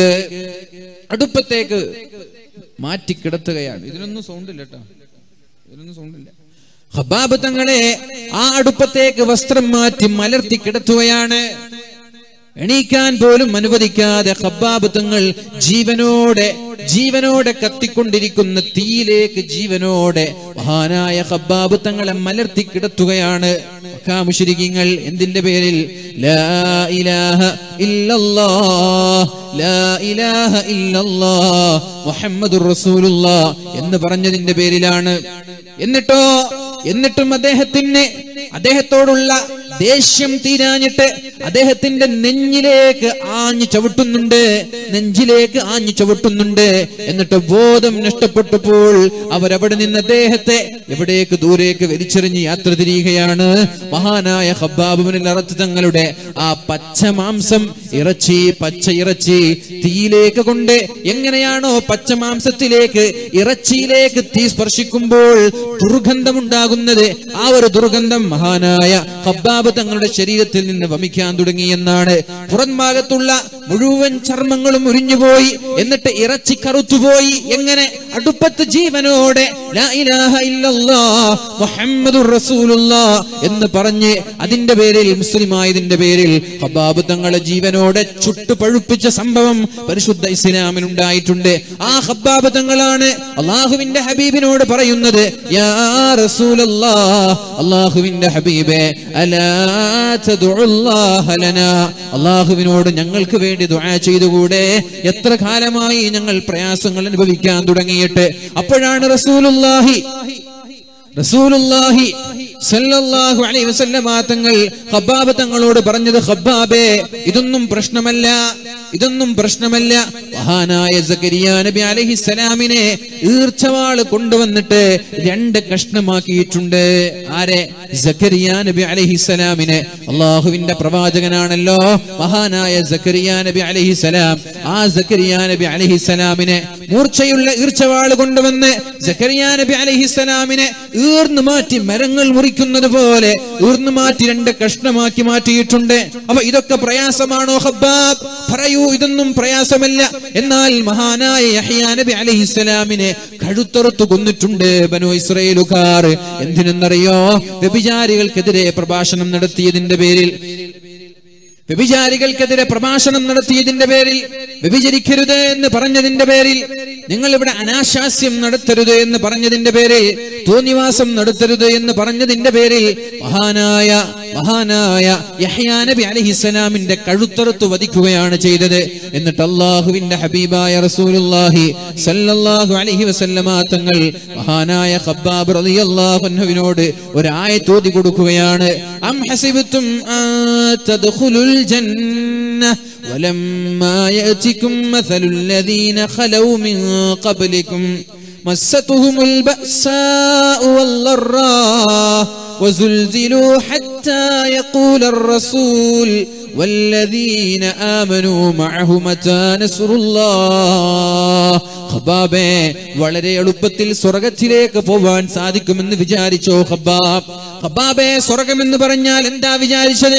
വീട്ടിലേക്ക് കയറിപ്പോകുന്നത് പോലെ പള്ളിയിലേക്ക് കയറിപ്പോകുന്നത് പോലെ വളരെ എളുപ്പത്തിൽ സ്വർഗം കിട്ടുമെന്ന് വിചാരിച്ചോ? അം ഹസിബത്തും നിങ്ങൾക്ക് തോന്നുന്നുണ്ടോ? അള്ളാഹുവിന്റെ സ്വർഗത്തിലേക്ക് പ്രവേശിക്കാമെന്ന് നിങ്ങൾക്ക് തോന്നുന്നുണ്ടോ? വലം നിങ്ങൾക്ക് മുമ്പ് കഴിഞ്ഞു പോയവർ അനുഭവിച്ചതുപോലെയുള്ള പ്രയാസങ്ങൾ അനുഭവിക്കാതെ ജീവിതത്തിൽ രോഗങ്ങളില്ലാതെ ജീവിതത്തിൽ ദുരിതങ്ങളില്ലാതെ ജീവിതത്തിൽ കഷ്ടപ്പാടുകളില്ലാതെ വളരെ സന്തോഷത്തോടെ ജീവിച്ച് വളരെ എളുപ്പത്തിൽ സ്വർഗത്തിലേക്ക് പോകാൻ പറ്റുമെന്ന് ഹബ്ബാബേ നിങ്ങൾക്ക് തോന്നുന്നുണ്ടോ എന്ന് പരിശുദ്ധ റസൂലുല്ലാഹി സല്ലല്ലാഹു അലൈഹി വസല്ലം. അള്ളാഹുവിന്റെ സ്വർഗം കിട്ടാൻ ഒരുപാട് പ്രയാസമുണ്ട്. നമ്മൾ വിചാരിച്ചതുപോലെയല്ല. ഇസ്ലാമിക ചരിത്രത്തിൽ അള്ളാഹുവിന്റെ ഹബീബ് സല്ലല്ലാഹു അലൈഹി വസല്ലം ജീവിതത്തിൽ അനുഭവിച്ചതുപോലെയുള്ള പ്രയാസങ്ങൾ നമ്മൾ എപ്പോഴെങ്കിലും അനുഭവിച്ചിട്ടുണ്ടോ മിനിങ്ങളെ എപ്പോഴെങ്കിലും നമ്മൾ അനുഭവിച്ചിട്ടുണ്ടോ? അള്ളാഹു നൽകിയ മക്കൾ എല്ലാ മക്കളെയും ജീവിതത്തിൽ എല്ലാ മക്കളെയും എല്ലാ മക്കളുടെയും മരണം അള്ളാഹുവിന്റെ ഹബീബ് ജീവിതത്തിൽ കണ്ടില്ലയോ? നമ്മൾ ആലോചിക്കണേ അള്ളാഹു നമ്മൾക്കൊരു പത്ത് മക്കളെ നൽകിയാൽ അതിലൊമ്പത് മക്കളും നമ്മുടെ കൺമുന്നിൽ വെച്ച് മരിച്ചു പോകുന്നത് എങ്ങനെയാണ് നമ്മൾ ഉൾക്കൊള്ളാൻ കഴിയുന്നത്? ഫാത്തിമ ബീവിയല്ലാത്ത ഫാത്തിമ ബീവി അല്ലാത്ത എല്ലാ മക്കളും അള്ളാഹുവിന്റെ ഹബീബിന്റെ കൺമുന്നിൽ വെച്ച് മരിച്ചു പോയവരല്ലയോ? മഹാനായ ഇബ്രാഹിം എന്ന് പറയുന്ന അള്ളാഹുവിന്റെ ഹബീബിന്റെ പതിനെട്ട് മാസം പ്രായമുള്ള പതിനാറ് മാസം പ്രായമുള്ള ആ ചെറിയ കുഞ്ഞ് ലോകത്തോട് വിട പറഞ്ഞു പോയപ്പോഴല്ലയോ അള്ളാഹുവിന്റെ ഹബീബിന്റെ കൺതടങ്ങളിൽ നിന്ന് കണ്ണുനീർ തുള്ളികൾ ധാരധാരയായുറ്റിയത്. അപ്പോഴൊരു സഹാബി ചോദിച്ചു? അള്ളാഹുവേ നിങ്ങൾ കരയുകയാണോ? കരയാൻ പാടില്ല എന്ന് അള്ളാഹു പറഞ്ഞിട്ടില്ലയോ? നബിയെ നിങ്ങൾ കരയുകയാണോ? ആരാ മരിച്ചുപോയത്? നബി തങ്ങളുടെ ഒന്നര വയസ്സ് മാത്രം പ്രായമുള്ള പിഞ്ചു കുഞ്ഞ് മഹാനായ ഇബ്രാഹിം എന്ന് പറയുന്ന കുഞ്ഞ് തന്റെ മടിത്തട്ടിൽ കിടന്ന് പിടഞ്ഞു മരിച്ചപ്പോ അള്ളാഹുവിന്റെ ഹബീബിന്റെ കൺതടങ്ങളിൽ നിന്ന് കണ്ണുനീർ തുള്ളികൾ ധാരധാരയായി ഒഴുകി. അപ്പോൾ ചോദിച്ചു നബിയെ കരയാൻ പാടുണ്ടോ നബിയെ? കരയാൻ പാടുണ്ടോ നബിയെ? കരയല്ലേ എന്നല്ലേ ഇസ്ലാം പഠിപ്പിച്ചത്? അപ്പോഴാണ് റസൂലുള്ളാഹി തങ്ങൾ പറഞ്ഞത് ഇതല്ല ഇതല്ല അള്ളാഹു നിരോധിച്ചത്. ഈ കരച്ചിൽ അള്ളാഹു നിരോധിച്ചിട്ടില്ല. ഉപ്പ മരിച്ചു പോയാൽ ഉമ്മ മരിച്ചു പോയാൽ ജ്യേഷ്ഠന്മാർ കുടുംബക്കാർ നമ്മളുമായി ബന്ധമുള്ള ചങ്ങാതിമാർ ഇങ്ങനെയൊക്കെ ആളുകൾ മരിച്ചുപോയാൽ സ്വാഭാവികമായും കാരുണ്യമുള്ളവന്റെ ഹൃദയത്തിൽ നിന്ന് കാരുണ്യമുള്ളവന്റെ കണ്ണിൽ നിന്ന് കണ്ണുനീർ തുള്ളികൾ ഉറ്റിപ്പോകും മോനെ ഉറ്റിപ്പോകും സുഹാബി എന്ന് അള്ളാഹുവിന്റെ ഹബീബായ റസൂലുള്ളാഹി സല്ലല്ലാഹു അലൈഹി വസല്ലം ആ സുഹാബിക്ക് മറുപടി കൊടുക്കുകയാണ്. എന്നാൽ ഉപ്പ മരിച്ചു എന്നറിയുമ്പോഴേക്കും കരയാൻ വേണ്ടി ആളുകളെ ഏൽപ്പിക്കരുത്. കരയാൻ വേണ്ടി ആളുകളെ ഏൽപ്പിക്കരുത്. ഉപ്പയുടെ മഹത്വം പറഞ്ഞ് ഉപ്പയുടെ പഴയകാല പ്രതാപം പറഞ്ഞിട്ട് കരയാൻ വേണ്ടി ആളുകളെ നിയോഗിക്കുക എന്നിട്ട് മുടിയെല്ലാം പിരിച്ചുവിട്ട് ഒച്ച ഒച്ചത്തിൽ അട്ടഹസിച്ചുകൊണ്ട് വീട്ടിൽ ഇങ്ങനെ കരയുന്നത് ഒരിക്കലും ഇസ്ലാം ഇസ്ലാം അനുവദിക്കുന്ന കാര്യമല്ല. ഇസ്ലാം അത് നിരോധിച്ചിരിക്കുകയാണ് എന്ന് പരിശുദ്ധ റസൂലുള്ളാഹി സല്ലല്ലാഹു അലൈഹി വസല്ലം എന്നിട്ട് പറഞ്ഞു മോനെ നിന്റെ വേർപാടിൽ ഞങ്ങൾ വേദനിക്കുന്നു മോനെ. നിന്റെ വേർപാടിൽ ഞങ്ങൾ വേദനിക്കുകയാണ്. ഇബ്രാഹിം. ഇബ്രാഹിമേ നിന്റെ വേർപാടിൽ ഞങ്ങൾക്ക് വേദനയുണ്ട് എന്ന് പരിശുദ്ധ റസൂലുള്ളാഹി സല്ലല്ലാഹു അലൈഹി വസല്ലം ആരാ മരിച്ചു പോവാത്തത്? ഫാത്തിമ ബീവി അല്ലാതെ മറ്റുള്ള എല്ലാ മക്കളും അള്ളാഹുവിന്റെ ഹബീബിൽ നിന്ന് മരിച്ചു പോയില്ലയോ? അള്ളാഹുവിന്റെ ഹബീബ് സല്ലല്ലാഹു അലൈഹി വസല്ലം തന്റെ മാതാവിന്റെ കബറിടത്തിൽ പോയി കരയുന്നത് സുഹാബാക്കൾ കാണുമ്പോൾ സുഹാബാക്കൾ ഒന്നടങ്കം പൊട്ടിക്കരഞ്ഞു എന്നാണ്. തന്റെ മാതാവിന്റെ കബറിടത്തിൽ പോയി അള്ളാഹുവിന്റെ ഹബീബ് കരഞ്ഞിട്ടുണ്ട്. നിയന്ത്രണമില്ലാതെ കരഞ്ഞു പോയിട്ടുണ്ട്. അതുകൊണ്ട് സുഹാബാക്കളും പൊട്ടിക്കരഞ്ഞു പോയിട്ടുണ്ട്. തന്റെ പ്രിയപ്പെട്ട പത്നിയായ ഖദീജ റളിയല്ലാഹു അൻഹയുടെ മരണം അള്ളാഹുവിന്റെ ഹബീബ് ജീവിതത്തിൽ കണ്ടുവളർന്ന ആളാണ്. ചുരുക്കി പറഞ്ഞാൽ ജീവിതത്തിൽ പ്രയാസങ്ങൾ ഏറ്റവും കൂടുതൽ അനുഭവിച്ചത് അള്ളാഹുവിന് ഏറ്റവും ഇഷ്ടമുള്ള വ്യക്തിയാണ്. ആർക്കാണ് ആരോടാണ് അള്ളാഹുവിന് ഏറ്റവും ഇഷ്ടമുള്ളത്? അള്ളാഹുവിന് ഏറ്റവും ഇഷ്ടമുള്ളത് ആരോടാണ്? അള്ളാഹു ഏറ്റവും നന്നായി സ്നേഹിച്ചത് അള്ളാഹുവിന് ഏറ്റവും ഇഷ്ടമുള്ളത് അത് പരിശുദ്ധ റസൂലുല്ലാഹി സല്ലല്ലാഹു അലൈഹി വസല്ലമ തങ്ങളെയാണ്. ആ ഹബീബാണ് മൂന്ന് മാസക്കാലം ഭക്ഷണമില്ലാതെ മൂന്ന് മാസക്കാലം ഭക്ഷണങ്ങളൊന്നുമില്ലാതെ അബി താലിബ് എന്ന് പറയുന്ന മലഞ്ചെരുവിൽ ശത്രുക്കളുടെ ഉപരോധം കൊണ്ട് മരങ്ങളിൽ കയറി അവിടുത്തെ പച്ചിലകൾ ഭക്ഷിച്ച് മൂന്ന് മാസക്കാലം അള്ളാഹുവിന്റെ ഹബീബ് ജീവിച്ചത്. എത്ര മാസം പച്ചിലകൾ മാത്രം ഭക്ഷിച്ച് അള്ളാഹുവിന്റെ ഹബീബ് ജീവിച്ചിട്ടുണ്ട്. മൂന്ന് മാസക്കാലം. എന്നിട്ട് ആടുകൾ കാഷ്ടിക്കുന്നത് പോലെ അള്ളാഹുവിന്റെ ഹബീബും മഹാന്മാരായ സ്വഹാബാക്കളും പച്ച രീതിയിൽ ആടുകളെ പോലെ പശുക്കളെ പോലെ മൃഗങ്ങളെ പോലെ കാഷ്ടിച്ചു പോയിട്ടുണ്ട് എന്നാണ്. ഉപരോധിക്കുകയാണ് ഒരു മലയിൽ വെച്ച് ഉപരോധിക്കുകയാണ്. താഴെ ഇറങ്ങാൻ കഴിയില്ല. കഴിയില്ല അവിടത്തേക്ക് ഭക്ഷണം കൊണ്ടുപോയി കൊടുക്കാൻ അനുവദിക്കാതെ മൂന്ന് മാസക്കാലം ഒരു മരഞ്ചിരവിൽ അവിടെയുള്ള മരച്ചില്ലകൾ അവിടെയുള്ള കായ്ക്കനികൾ ഇതെല്ലാം കഴിച്ച അള്ളാഹുവിന്റെ ഹബീബ് മൂന്ന് മാസം ചെലവഴിച്ചു എന്ന് പറയുമ്പോ മൂന്ന് മാസമല്ല ഒന്നര വർഷത്തോളം ഒന്നര വർഷത്തോളം അള്ളാഹുവിന്റെ ഹബീബ് ചെലവഴിച്ചു എന്ന് പറയുമ്പോൾ പ്രിയമുള്ള മുഅ്മിനീങ്ങളെ ഇതുപോലെയുള്ള ജീവിതത്തിൽ വല്ല പ്രയാസങ്ങളും നമ്മൾ അനുഭവിച്ചിട്ടുണ്ടോ? ചുരുക്കി പറഞ്ഞാൽ എപ്പോഴും മുകളിലുള്ളവരെ നോക്കുന്നതിന് പകരം നമ്മളെക്കാളും പ്രയാസമുള്ളവരെ നോക്കുകയാണെങ്കിൽ നമ്മളെക്കാളും പ്രയാസമുള്ള ആളുകളെ നമ്മളൊന്ന് പരീക്ഷിച്ചു നോക്കുകയാണെങ്കിൽ നമ്മുടെ ജീവിതം സന്തോഷത്തിലാണ്. അള്ളാഹു തന്ന ഞാമത്തുകൾ എത്രത്തോളം ഉണ്ട് എന്ന് നമ്മൾക്ക് തിരിച്ചറിയാൻ കഴിയും. എത്രത്തോളം ഉണ്ട് എന്ന് നമ്മൾക്ക് തിരിച്ചറിയാൻ കഴിയും. ഓപ്പറേറ്റർ പോയാ? ഉണ്ടോ? ഒരു ഡിലേ കൊടുത്തിരുന്നു ചോദിച്ചു. ഒന്ന് ഡിലേ കൊടുക്കില്ല ഒരു തൊണ്ണ. അപ്പൊ നമ്മൾ എപ്പോഴും നമ്മൾ നോക്കുന്നത് എന്റെ പ്രയാസം മാത്രമാണ് ഞാൻ എന്റെ പ്രയാസം മാത്രം നോക്കുകയാണ്. എന്നാൽ ഒന്ന് ഇറങ്ങിത്തിരിക്കണം. നാടിൽ വീട്ടിലൊക്കെ ഒന്ന് ഇറങ്ങണം. ഇറങ്ങിയിട്ട് അവിടെയൊക്കെ ദുരിതം അനുഭവിക്കുന്ന ആളുകളെ നമ്മൾ തിരിച്ചറിയണം. അങ്ങനെ നമ്മൾ തിരിച്ചറിഞ്ഞു. എന്നിട്ട് നമ്മുടെ ജീവിതത്തിലേക്കൊന്ന് നോക്കുമ്പോ നമ്മളൊന്നുമല്ല നമ്മളെക്കാളൊക്കെ പ്രയാസം അനുഭവിക്കുന്നവർ ഇഷ്ടം പോലെ ഉണ്ട് എന്ന് തിരിച്ചറിയാൻ അതാണ് ആദ്യം നബി തങ്ങൾ പറഞ്ഞത്. ഞാൻ ആദ്യം പറഞ്ഞ ഹദീസ് ഒരിക്കലും ഒന്നുറു ഇലാ മൻ ഹുവ ദൂനകും എപ്പോഴും താഴേക്കിടയിലുള്ള ആളുകളെ മാത്രം നോക്കിയാൽ മതി. മുകളിലുള്ളവരിലേക്ക് നോക്കരുത്. എക്കോ അല്ല ഞാൻ ഉദ്ദേശിച്ചത്. താഴേക്കിടയിലുള്ള ആളുകളെ മാത്രം നോക്കിയാൽ മതി. മുകളിലുള്ള ആളുകളെ നോക്കരുത്. അങ്ങ് നോക്കുന്നതിനനുസരിച്ച് ജീവിതത്തിൽ പ്രയാസങ്ങളായിരിക്കും. അതോടൊപ്പം. അള്ളാഹു നിങ്ങൾക്ക് എന്ത് തന്നാലും എന്ത് തന്നാലും അത് പൈസയാവാം ദാരിദ്ര്യമാവാം രോഗമാവാം പ്രയാസങ്ങളാവാം. എന്ത് തന്നാലും അലഹമില്ല എന്ന് പറയാനുള്ള ആ ഒരു കരുത്ത് നമ്മൾക്ക് കിട്ടണം. അള്ളാഹു നൽകട്ടെ. അള്ളാഹു നമ്മൾക്ക് നൽകട്ടെ. ലോകത്തെ ഏറ്റവും വലിയ നാല് സമ്പാദ്യങ്ങൾ ഏതൊക്കെയാണ്? ഒന്ന് ബദനുൻ അലൽ സ്വാബിർ ക്ഷമിക്കാൻ കഴിയുന്ന ഒരു ശരീരം ഉണ്ടാവണം നാല് സമ്പാദ്യങ്ങൾ അള്ളാഹുവിന്റെ ഹബീബായ മുഹമ്മദ് റസൂലുള്ളാഹി സല്ലല്ലാഹു അലൈഹി വസല്ലമ തങ്ങൾ പറയുന്നുണ്ട്. ഏതൊക്കെയാണ് ആ സമ്പാദ്യങ്ങൾ? ചെല്ലാനുള്ള നാവ്. എപ്പോഴും ദിക്ര ചൊല്ലിക്കൊണ്ടിരിക്കുന്ന ഒരു നാവ് നമ്മൾക്കുണ്ടാവണം. ദിഖറിൽ നിന്ന് മാറി നിൽക്കുമ്പോൾ കസ്വത്തുൽ കൽബുണ്ടാകുമെന്നാണ് ഹൃദയത്തിൽ കാഠിന്യമുണ്ടാകും. സംസാരം കൂടുന്നതിനനുസരിച്ച് ഹൃദയം കടുത്തുപോകുമെന്നാണ്. കസ്വത്തുൽ കൽബുണ്ടാകും. ലാ തുക്സിറുൽ കലാമ ഫീ ഗൈരി ദിക്രില്ലാഹ്. അള്ളാഹുവിന്റെ ദിഖിറിലല്ലാതെ നിങ്ങൾ ഒരുപാട് സംസാരിക്കരുത്. സംസാരിക്കുകയാണെങ്കിൽ വാ തുറക്കുകയാണെങ്കിൽ ദിഖറിന് വേണ്ടിയേ വായ തുറക്കാൻ പാടുള്ളൂ. വായ തുറക്കുകയാണെങ്കിൽ എന്തെങ്കിലും ഇസ്തിഗ്ഫാർ ചെല്ലാൻ ഖുർആൻ ഓതാൻ ദിക്ർ ചെല്ലാൻ അങ്ങനെ ഇതിനു വേണ്ടിയിട്ടല്ലാതെ ഒരിക്കലും വായ തുറക്കാൻ പാടില്ല എന്നാണ്. ഇങ്ങനെ സംസാരിച്ചിരിക്കരുത്. സംസാരം വർദ്ധിക്കുമ്പോ ഹൃദയം കടുത്തു പോകും ഒരുപാട് സംസാരിക്കരുത്. ഒരുപാട് സംസാരിക്കരുത്. സംസാരിക്കും തോറും അള്ളാഹുവിൽ നിന്ന് അകലുമെന്നാണ്. ഹൃദയം കടുത്തുപോയാൽ നമ്മൾ അറിയാതെ നമ്മൾ അള്ളാഹുവിൽ നിന്ന് അകന്നു പോകുമെന്നാണ് അള്ളാഹുവിൽ നിന്ന് അക- അകലും തോറും നരകത്തിലേക്ക് നമ്മൾ അടുക്കുമെന്നാണ്. എന്നിട്ട് മഹാനായ ഈസാ നബി അലഹിസലാം പറയുന്നുണ്ട് നിങ്ങൾ ഒരിക്കലും മറ്റുള്ളവരുടെ മറ്റുള്ളവരുടെ കുറ്റവും കുറവും നോക്കി നടക്കരുത്. അർബാബ്. നിങ്ങൾ വലിയ അർബാക്കന്മാരെ പോലെ മുതലാളിമാരെ പോലെ നിങ്ങൾ ഒരിക്കലും മറ്റുള്ളവരുടെ കുറവ് നോക്കരുത് എന്ന് മഹാനായ ഐസാ നബി അലഹിസ്സലാം പറയുന്നുണ്ട്. നമ്മൾ എപ്പോഴും എന്ത് ചെയ്യും? മറ്റുള്ളവരെ നോക്കിയിട്ടാണ് നമ്മൾ ജീവിക്കുക. അയാൾ എന്ത് ചെയ്യുന്നു? ഇയാൾ എന്ത് ചെയ്യുന്നു? അതൊക്കെയാ നമ്മുടെ ചിന്ത. പക്ഷെ എന്റെ അവസ്ഥ എന്ത് എന്ന് നമ്മൾ ആലോചിക്കാറുണ്ടോ? എന്റെ അവസ്ഥ എന്ത്? പൊതുവെ പല നാടുകളിലും കണ്ടുകൊണ്ടിരിക്കുന്നത് മറ്റുള്ളവന്റെ കുറ്റവും കുറവും കുറവും പറയുക എന്ന ഒരു സ്വഭാവമാണ്.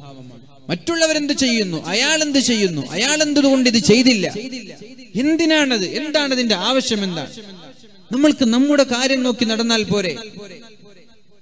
അള്ളാഹുവിന്റെ മഷറാലോകത്ത് അല്ലെങ്കിൽ പാരത്രിക ലോകത്ത് രക്ഷപ്പെടാനുള്ള അമൽ മറ്റുള്ളവരുടെ ജീവിതത്തിലേക്ക് നോക്കാതെ സ്വന്തം ജീവിതം മാത്രം നോക്കി നടക്കലാണ്. അല്ലെങ്കിൽ രക്ഷപ്പെടാൻ കഴിയില്ല എന്നാണ് കാരണം ഈ നാവ് കൊണ്ട് നാളെ നരകത്തിലേക്ക് വീഴുമോ എന്ന് പരിശുദ്ധ റസൂലുല്ലാഹി സല്ലല്ലാഹു അലൈഹി വസല്ലമ തങ്ങളോട് ഒരു സഹാബി ചോദിക്കുന്നുണ്ട്. നാവ് കൊണ്ട് നരകത്തിലേക്ക് വീഴുമോ അപ്പോഴാണ് അള്ളാഹുവിന്റെ ഹബീബ് പറഞ്ഞത് "വഹൽ അലാ മനാഖിരിഹിം ഇല്ലാ ഹസ്വായിദു ജനങ്ങൾ നാളെ നരകത്തിലേക്ക് വീഴാൻ കാരണം അവരുടെ നാവ് കൊണ്ടുണ്ടാകുന്ന പിഴവുകളാണ്. നിസ്കരിക്കാത്തതിന്റെ പേരിൽ നോമ്പെടുക്കാത്തതിന്റെ പേരിൽ ഇതൊന്നുമല്ല. നാളെ നരകത്തിൽ അകപ്പെടാനുള്ള പ്രധാനപ്പെട്ട കാരണം നിസ്കാരമോ നമ്മുടെ നോമ്പോ ഒന്നുമല്ല. പിന്നെ എന്താണ്? നാളെ നരകത്തിന്റെ ഭയാനകമായ ശിക്ഷ അനുഭവിക്കാനുള്ള ഏറ്റവും പ്രധാനപ്പെട്ട കാരണം നമ്മുടെ നാവുകൾ സൂക്ഷിക്കാത്തതാണ്. പെണ്ണുങ്ങളായാലും ആണുങ്ങളായാലും ഏറ്റവും കൂടുതൽ നരകത്തിൽ അകപ്പെടുന്നത് അവരുടെ നാവുകൾ സൂക്ഷിക്കാത്തത് കാരണത്താലാണ് എന്ന് മുഹമ്മദ് റസൂലുള്ളാഹി സല്ലല്ലാഹു അലൈഹി വസല്ലം ഈസാ നബി അലഹിസ്സലാം പറയുന്നത് എന്തെങ്കിലും അത്യാവശ്യത്തിന് വേണ്ടി മാത്രം വായ തുറന്നാ മതി. പള്ളിയിലൊക്കെ ഉണ്ടാകും ചില ആളുകൾ അനാവശ്യമായി ഇങ്ങനെ ബടായി വിടുന്ന ആളുകൾ പള്ളിയുടെ വരാന്തയിൽ ഇരുന്നിട്ട് ഇങ്ങനെ സംസാരിക്കും. അവർക്ക് നിസ്കാരം നടന്നാലും പ്രശ്നമില്ല നടന്നില്ലേലും പ്രശ്നമില്ല. അതേപോലെ തന്നെ വാൽ നടന്നാലും പ്രശ്നമില്ല നടന്നില്ലേലും പ്രശ്നമില്ല. വാൽ നടക്കുകയാണെങ്കിലും അല്ലെങ്കിലും ഒന്നും വിഷയമല്ല. പീഡികത്തിണ്ണയിൽ ഇരിക്കുന്നവർ ബസ് സ്റ്റാൻഡിൽ ഇരിക്കുന്നവർ പള്ളിയുടെ വരാന്തകളിൽ ഇരിക്കുന്നവർ അതുപോലെ തന്നെ ക്ലബ്ബുകളിൽ ഇരിക്കുന്നവർ ഓരോ മേഖലകളിൽ ഇങ്ങനെ കൂട്ടം കൂട്ടമായിട്ട് ഇരിക്കുക എന്നിട്ട് മറ്റുള്ളവന്റെ മാംസം പച്ച മാംസം തിന്നുന്ന സ്വഭാവം. ഞാൻ പറയാം നിങ്ങളുടെ നിസ്കാരങ്ങളൊക്കെ നിങ്ങൾ നിർത്തിവെച്ചേക്ക്. നിങ്ങളുടെ ഇബാദത്തുകൾ നിങ്ങൾ നിർത്തിവെച്ചേക്ക്. നിങ്ങളുടെ ആരാധനകളൊന്നും റബ്ബിന് വേണ്ട. നിസ്കരിക്കാത്തവൻ സ്വർഗത്തിലെത്തിയിട്ടില്ലേ ഒരു ഒരു റക്കാത്ത് പോലും നിസ്കരിക്കാതെ ഒരു സുജൂത് പോലും ചെയ്യാത്ത ആൾ ആ വ്യക്തിയെ മറമാടുന്ന സമയത്ത് മലക്കുകളുടെ ആധിക്യം കൊണ്ട് അള്ളാഹുവിന്റെ ഹബീബ് സല്ലാഹു അലൈഹി വസല്ലം വിരലുകളിൽ ഊന്നി നടന്നു നാണ് വിരലുകളിൽ ഊന്നി നടന്നു നാൻ. ഒരു സുജൂത് പോലും ജീവിതത്തിൽ ചെയ്തിട്ടില്ല. വലം സജദ. ഒരു സുജൂത് പോലും ചെയ്യാതെ. ഒരു സഹാബി അള്ളാഹുവിനെ കൊണ്ട് വിശ്വസിച്ചു പരിശുദ്ധ ഹബീബിനെ കൊണ്ട് വിശ്വസിച്ചു. യുദ്ധമുള്ള സമയമാണ്. ആ യുദ്ധത്തിൽ ഷഹീദായി മറമാടുന്ന സമയത്ത് മലക്കുകളുടെ അകമ്പടി ഹൂറുല്ലീങ്ങളുടെ അകമ്പടി കൊണ്ട് അള്ളാഹുവിന്റെ ഹബീബിന് മയ്യത്ത് മറമാടുമ്പോൾ കാലിലൂന്നിങ്ങനെ വിരലിലൂന്നിങ്ങനെ നടന്നു എന്നാണ്. നമ്മുടെ നിസ്കാരം കൊണ്ട് രക്ഷപ്പെടുമെന്ന് നമ്മൾ ഒരിക്കലും വിചാരിക്കരുത്. ഒരു സുജൂത് പോലും ചെയ്യാത്ത ആളുകൾക്ക് അള്ളാഹു സ്വർഗം നൽകിയിട്ടുണ്ട്. അള്ളാഹു വ്യഭിചാരികളായ ആളുകൾക്ക് അള്ളാഹു സ്വർഗം നൽകിയിട്ടുണ്ട്. എന്നാൽ സദാ സമയവും നിസ്കാരത്തിലായി നോമ്പ് നോറ്റ് സുന്നത്ത് നോമ്പുകൾ അനുഷ്ഠ അനുഷ്ഠിച്ച് വിക്ര ചൊല്ലി ഖുർആാനോദി സ്വതക്ക നൽകി ജീവിച്ച ആളുകൾ അള്ളാഹുവിന്റെ ഭയാനകമായ നരകലോകത്തേക്ക് അള്ളാഹു വലിച്ചെറിഞ്ഞിട്ടുമുണ്ട്. നിസ്കാരം എന്നുള്ളത് നാമും നമ്മുടെ റബ്ബുമുള്ള തീരുമാനമാണ് അള്ളാഹുവിന് വേണമെങ്കിൽ മാപ്പ് തരാം. അള്ളാഹ് ഇപ്പൊ ഞാൻ നിസ്കരിച്ചു. ഇല്ലേ റബ്ബിനൊരു കുഴപ്പമില്ല. പക്ഷെ നമ്മൾ കുറപ്പിക്കണമെങ്കിൽ നമ്മൾ നിസ്കരിച്ചേ പറ്റൂ. നാളെ ആഹ്റത്തിൽ രക്ഷപ്പെടുമെന്നുള്ള ഒരു പ്രതീക്ഷ നമ്മൾക്കുണ്ടാവണമെങ്കിൽ നമ്മൾ നിസ്കരിക്കണം. പക്ഷെ അള്ളാഹുവിന് നമ്മൾ നിസ്കരിച്ചത് കൊണ്ട് ഒന്നും കിട്ടാനില്ല. എന്നാൽ നമ്മുടെ നാട്ടിലുള്ള ഒരാൾ തീരെ നിസ്കാരമൊന്നുമില്ല. ഇങ്ങനെ തട്ടിമുട്ടി പോകുന്ന ഒരാളാണ്. പക്ഷേ അദ്ദേഹം അദ്ദേഹത്തിന്റെ ജീവിതത്തിൽ നാവ് കൊണ്ടൊരാളെ വേദനിപ്പിച്ചിട്ടില്ല എങ്കിൽ അദ്ദേഹത്തിന്റെ നാവ് കൊണ്ട് മറ്റൊരാളുടെ ഗീബത്ത് പച്ചമാംസം തിന്നാതെ ഫസാദ് പറയാതെ ഫിത്നയുണ്ടാക്കാതെ നാട്ടിൽ കുഴപ്പങ്ങൾക്ക് നേതൃത്വം കൊടുക്കാതെ വളരെ മാന്യമായി നാട്ടിലെ ഇഷ്ടക്കാരായി ജീവിച്ച ഒരാൾ ഇൻഷാ അല്ലാ അത്തരം ആളുകൾ രക്ഷപ്പെടുമെന്നതിൽ സംശയമില്ല. കാരണം അവരുടെ ഇടപാട് അള്ളാഹുമായിട്ടുള്ള ഇടപാടാണ്. അള്ളാഹു ഗഫൂറാണ് അള്ളാഹു റഹീമാണ്. പക്ഷെ മനുഷ്യൻ അങ്ങനെയല്ല. മനുഷ്യനും മനുഷ്യനും തമ്മിലുള്ള ഇടപാടുകൾ പരസ്പരം മാപ്പ് നൽകാതെ പരസ്പരം പൊരുത്തപ്പെട്ടു കൊടുക്കാതെ അള്ളാഹുത്തരം വിഷയങ്ങളിൽ ഇടപെടുകയേ ഇല്ല എന്നാണ്. അതുകൊണ്ട് സംസാരം നിയന്ത്രിച്ചേ പറ്റൂ. നാളെ നരകത്തിൽ കടക്കാനുള്ള ഏറ്റവും പ്രധാനപ്പെട്ട കാരണം നമ്മുടെ നാവാണ് എന്ന് മുഹമ്മദ് വസല്ലം. നിമിത്തങ്ങൾ പറഞ്ഞു രണ്ട് കാര്യം നിങ്ങൾ എനിക്ക് ഉറപ്പ് തന്നാൽ ഞാൻ നിങ്ങൾക്ക് സ്വർഗം തരാം. സ്വർഗം വേണോ? സ്വർഗത്തിന്റെ ടിക്കറ്റ് ഒക്കെ കൊടുക്കാൻ പറ്റും. സ്വർഗം വേണോ? വേണോ? സ്വർഗം വേണ്ടാത്ത ആരെങ്കിലും ഉണ്ടോ ഇവിടെ? ഇല്ല അല്ലെ? എല്ലാവർക്കും സ്വർഗം വേണം. എന്നാ കേൾക്ക്? രണ്ട് കാര്യം നിങ്ങൾ എനിക്ക് ഉറപ്പ് തന്നാൽ ഞാൻ നിങ്ങൾക്ക് സ്വർഗം കൊണ്ട് ഉറപ്പ് തരാമെന്ന് പരിശുദ്ധ റസൂലുള്ളാഹി സല്ലല്ലാഹു അലൈഹി വസല്ലം. ഒന്ന് നിങ്ങളുടെ നാവ് ഹലാലിന് വേണ്ടിയല്ലാതെ ഉപയോഗിക്കൂല എന്ന ഉറപ്പ് വേണം. ഈ നാവ് കൊണ്ട് മറ്റൊരാളുടെ കുറ്റം ഞാൻ പറയില്ല.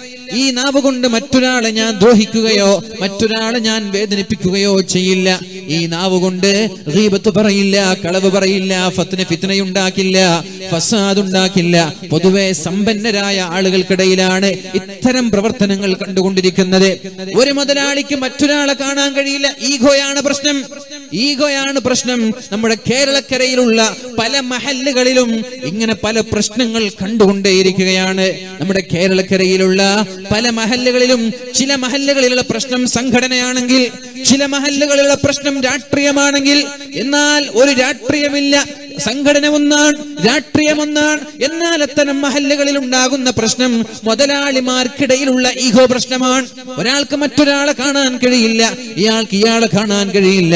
മറ്റൊരാളുടെ വളർച്ചയെ അസൂയയോടെ കണ്ട് പാരവെക്കുന്ന സംവിധാനങ്ങൾ ഫിറ്റിന പറയുന്ന സംവിധാനങ്ങൾ ജീവത്തുണ്ടാക്കുന്ന സംവിധാനങ്ങൾ നാട്ടിലങ്ങനെ കുഴപ്പമുണ്ടാക്കുന്ന സംവിധാനങ്ങൾ നമ്മുടെ നാട്ടിൽ നടന്നുകൊണ്ടേ ഇരിക്കുകയാണ്. അതുകൊണ്ട് അത്തരം ആളുകൾ നമ്മുടെ ശ്രോതാക്കളിൽ ഓൺലൈനിലൂടെ ഓഫ്ലൈനിലൂടെ വീക്ഷിക്കുന്ന ആളുകളിലുണ്ടെങ്കിൽ ഈ നാവ് സൂക്ഷിക്കാതെ ഒരു കാരണവശാലും രക്ഷപ്പെടുമെന്ന് വിചാരിക്കേ വേണ്ട. നിസ്കാരം കൊണ്ട് രക്ഷപ്പെടൂല. യൗമ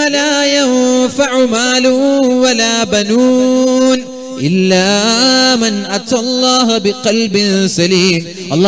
മക്ഷരാലോകത്ത് അള്ളാഹുവിന്റെ മക്ഷരാലോകത്ത് ഒരാളും രക്ഷപ്പെടുത്താനില്ലാത്ത ആ ലോകത്ത് ആരാണോ അവന്റെ നാവിനെയും അവന്റെ ഹൃദയത്തെയും സൂക്ഷിച്ച് പകയില്ലാത്ത വിദ്വേഷമില്ലാത്ത വൈരാഗ്യമില്ലാത്ത കുറുമ്പില്ലാത്ത സന്മനസ്സുമായി ആരാണോ ആരാണോ ജീവിച്ചു തീർത്തത് അവർ മാത്രമേ നാളെ വിജയിക്കുള്ളൂ എന്ന് പരിശുദ്ധ ഖുർആൻ നമ്മൾക്ക് ആണയിട്ട് പറയുമ്പോൾ എന്തിനാണ് മുഅ്മിനീങ്ങളെ മറ്റുള്ളവരുടെ വിഷയം നമ്മൾ ഇടപെടുന്നത്.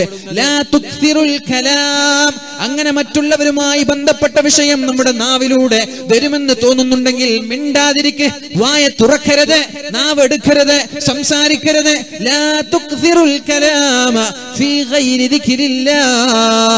നാവ് തുറന്നാൽ വായ തുറന്നാൽ അള്ളാഹുവിന്റെ ദിക്കറായിരിക്കണം അതിൽ വരേണ്ടത്. അല്ലെങ്കിൽ എന്തെങ്കിലും നല്ല കാര്യങ്ങൾ ഭാര്യയുമായിട്ടുള്ള സംസാരം മസ്നഹത്തിന്റെ സംസാരം ഏറ്റവും നല്ല വാക്കുകളല്ലാതെ നമ്മുടെ വായയിൽ നിന്ന് വരാനേ പാടില്ല. അങ്ങനെ വന്നു പോയാലോ? നിങ്ങളുടെ ഹൃദയം കടുത്തുപോകും ഹൃദയം കാഠിന്യമുള്ളതാകും. ഖസ്വത്തുൽ കൽബുണ്ടാകും.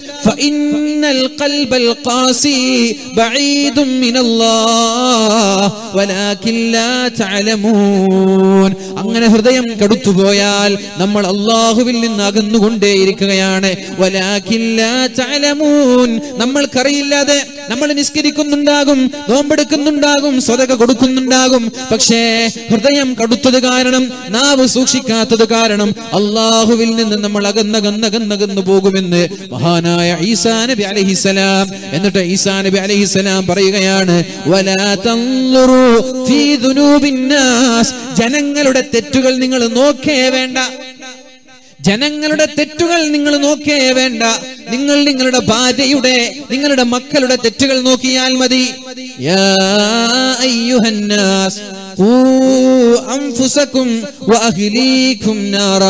ജനങ്ങളെ സത്യവിശ്വാസികളെ നിങ്ങൾ നിങ്ങളുടെ ശരീരമാണ് ആദ്യം നോക്കേണ്ടത്. പിന്നെ നിങ്ങളുടെ ഭാര്യ പിന്നെ നിങ്ങളുടെ മക്കൾ ഇത് മാത്രമാണ് നിങ്ങൾ ഏൽപ്പിച്ചത്. നിങ്ങൾ മറ്റുള്ളവന്റെ കുറവും കുറ്റവും നോക്കി നടക്കരുത്.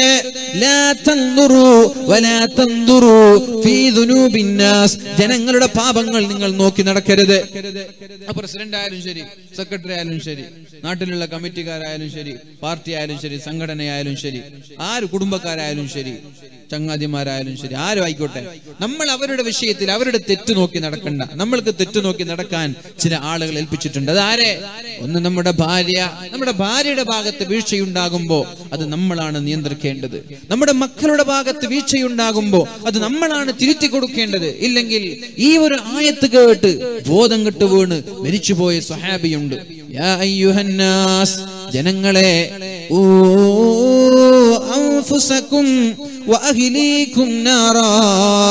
നിങ്ങൾ അള്ളാഹുവിനെ പേടിക്കണേ അള്ളാഹുവിനെ സൂക്ഷിക്കണേ. നിങ്ങളെയും നിങ്ങളുടെ ശരീരത്തെയും നിങ്ങളുടെ കുടുംബത്തെയും ദത്തമായി ആളിക്കത്തുന്ന നരകത്തിൽ നിന്ന് സൂക്ഷിക്കണേ എന്ന് അള്ളാഹു പരിശുദ്ധമായ ഖുർആനിലൂടെ നമ്മൾക്ക് പഠിപ്പിക്കുന്നുണ്ട്. യാ അയ്യുഹല്ലദീന ആമനൂ. സത്യവിശ്വാസികളെ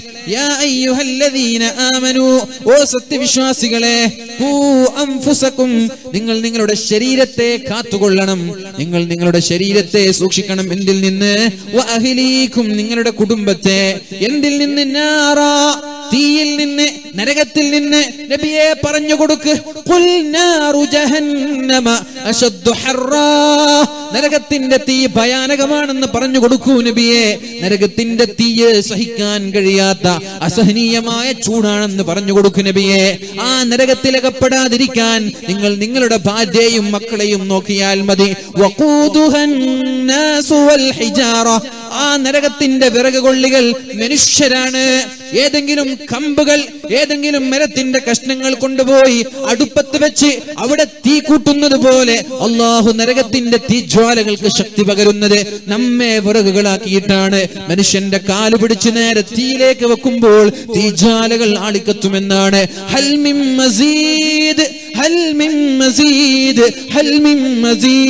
ഇനിയുമുണ്ടോ? ഇനിയുമുണ്ടോ? ഇനിയുമുണ്ടോ എന്ന് അള്ളാഹുവിനോട് നരകം ചോദിക്കുമെന്ന് പരിശുദ്ധ ഖുർആൻ നമ്മോട് പഠിപ്പിച്ചിട്ടുണ്ട്. അതുകൊണ്ട് ആ നരകത്തിന്റെ കത്തിയാളുന്ന ഈ ലോകത്ത് നിന്ന് ഭയാനകമായ ലോകത്ത് നിന്ന് രക്ഷപ്പെടാൻ ഞാൻ എന്റെ കുറവാണ് നോക്കേണ്ടത്. എന്റെ ഭാര്യയുടെ കുറവാണ് നോക്കേണ്ടത്. എന്റെ മക്കളുടെ കുറവാണ് ഞാൻ നോക്കേണ്ടത്. എന്നിട്ട് അവിടെയാണ് നമ്മൾ തിരുത്തേണ്ടത്. അല്ലാതെ നാട്ടുകാരുടെ നാട്ടിലുള്ള മറ്റുള്ള നിങ്ങളുടെ കുറ്റവും കുറവും നോക്കി നിങ്ങൾ നടക്കരുത് എന്ന് മഹാനായ ഈസാ നബി അലഹിസലാം നമ്മോട് പഠിപ്പിക്കുകയാണ്.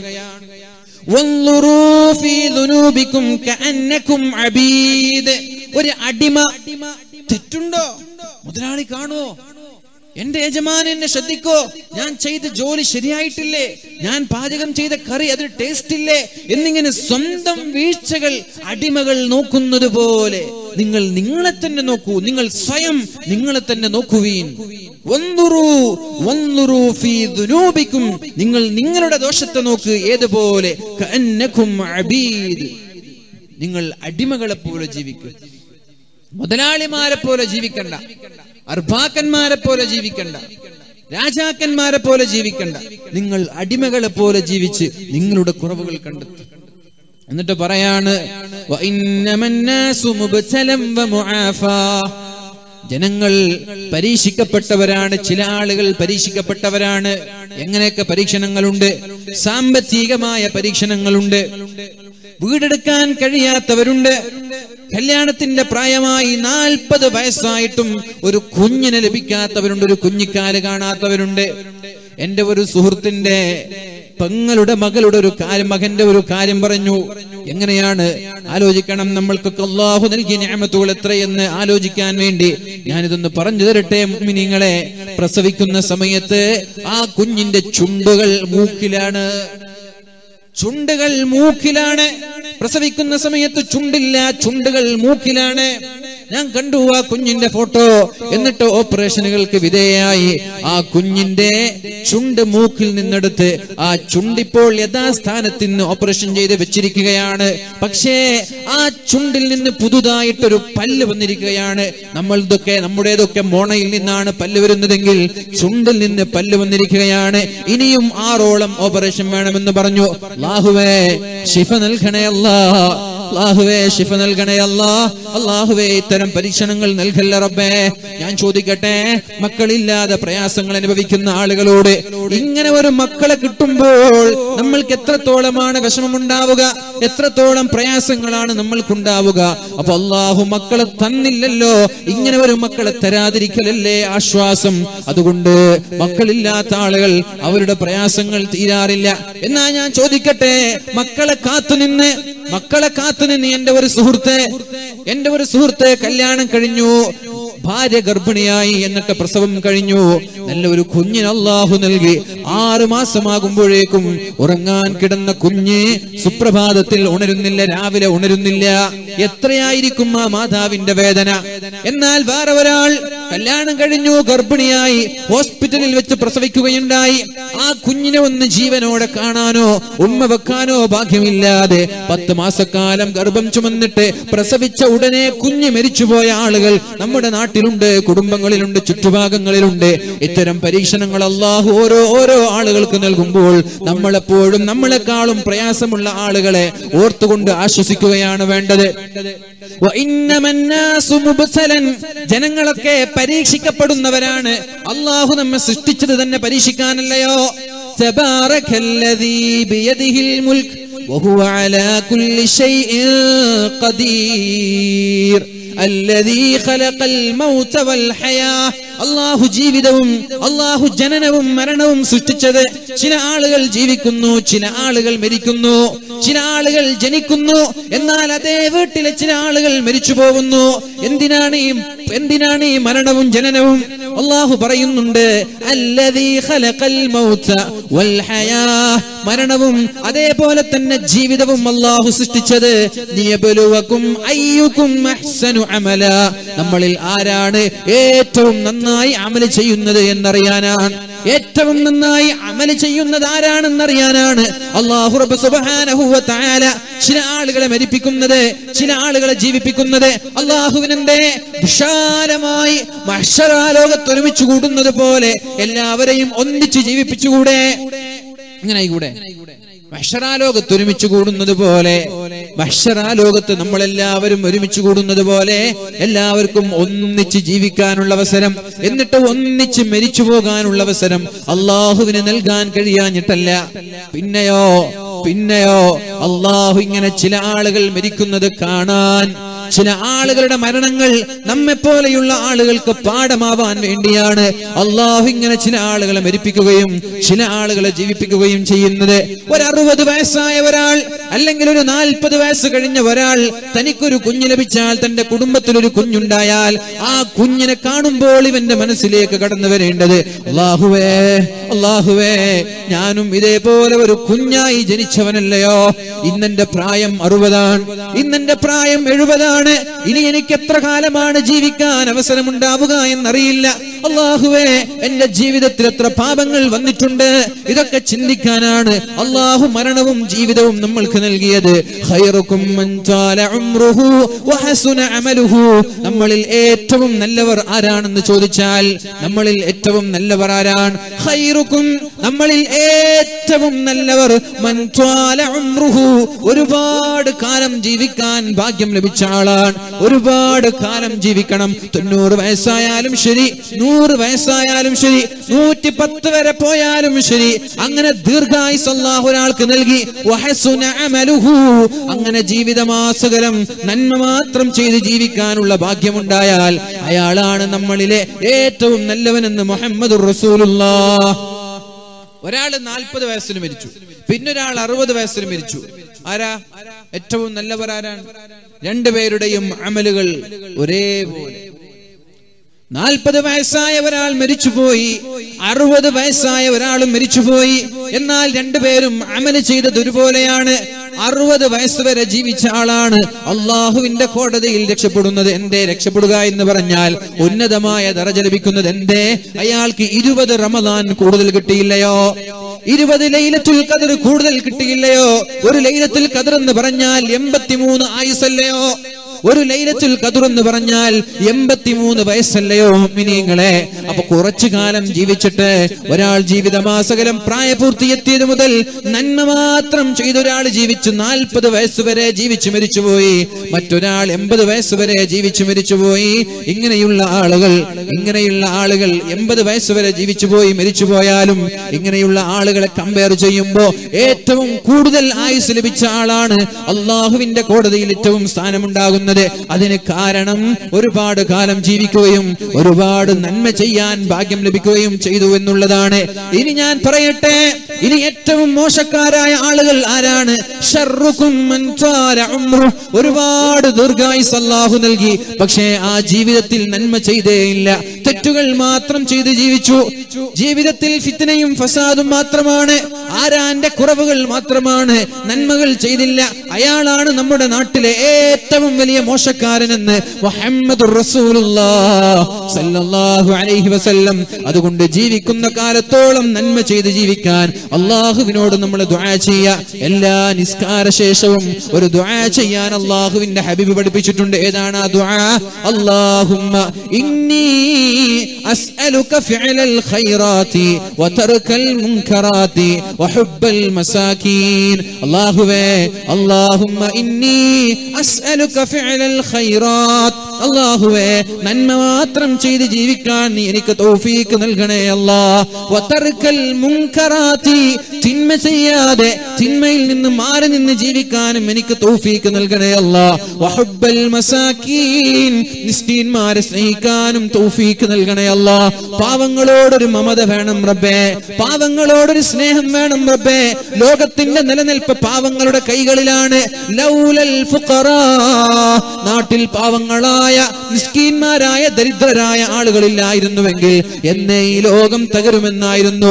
നിങ്ങൾക്ക് അള്ളാഹു രിസുക്ക് നൽകാനുള്ള കാരണം നിങ്ങൾക്ക് അള്ളാഹു ഭക്ഷണം നൽകാനുള്ള കാരണം നിങ്ങൾക്ക് അള്ളാഹു സമ്പത്ത് നൽകാനുള്ള കാരണം പാവങ്ങളായ ആളുകളാണ് ബലഹീനരായ ദരിദ്രരായ ആളുകളാണ് എന്ന് മുഹമ്മദ് റസൂലുള്ളാഹി സല്ലല്ലാഹു അലൈഹി വസല്ലം. അതുകൊണ്ട് അള്ളാഹുവിനോടെന്നും ദുആ ചെയ്യാ.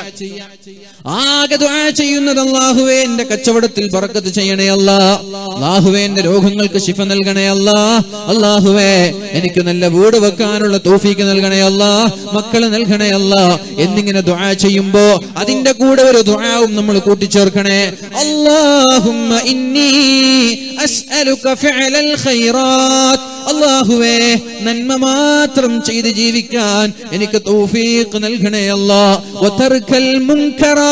അള്ളാഹുവേ തിന്മയിൽ നിന്ന് മാറി നിൽക്കാനും എനിക്ക് തൗഫീഖ് നൽകണേ അല്ലാ. വഹുബ്ബൽ മസാകീൻ. മിസ്കീന്മാരെ സ്നേഹിക്കാനും എനിക്ക് തൗഫീഖ് നൽകണേ അല്ലാ. എന്നിങ്ങനെ അള്ളാഹുവിനോട് നന്മ ചെയ്ത് ജീവിക്കാൻ ദുആ ചെയ്യുക. അള്ളാഹു നമ്മൾക്ക് തൗഫീഖ് നൽകട്ടെ. പറഞ്ഞു വരുന്ന വിഷയം ജനങ്ങളിൽ ചില ആളുകൾക്ക് അള്ളാഹു പരീക്ഷണങ്ങൾ നൽകും ചില ആളുകൾക്ക് അള്ളാഹു ആരോഗ്യം നൽകും സന്തോഷം നൽകും. എന്നാൽ പരീക്ഷണങ്ങളിലൂടെ ജീവിക്കുന്ന ആളുകൾക്ക് നിങ്ങൾ കാരുണ്യം ചെയ്യണം അവരെ നിങ്ങൾ സ്നേഹിക്കണം. അള്ളാഹു നിങ്ങൾക്ക് തന്ന സുഖങ്ങളെ ഓർത്ത് അള്ളാഹുവിനെ നിങ്ങൾ സ്തുതിക്കണമെന്നും മഹാനായ ഈസാ നബി അലഹിസലാം പഠിപ്പിക്കുകയാണ് ഇനി കേൾക്ക്. ഇനി അള്ളാഹുവിന്റെ ഹബീബ് പറയുന്ന ഒരു ഹദീസ് ഉണ്ട് ദാവദാജി ദാവൂദാജി?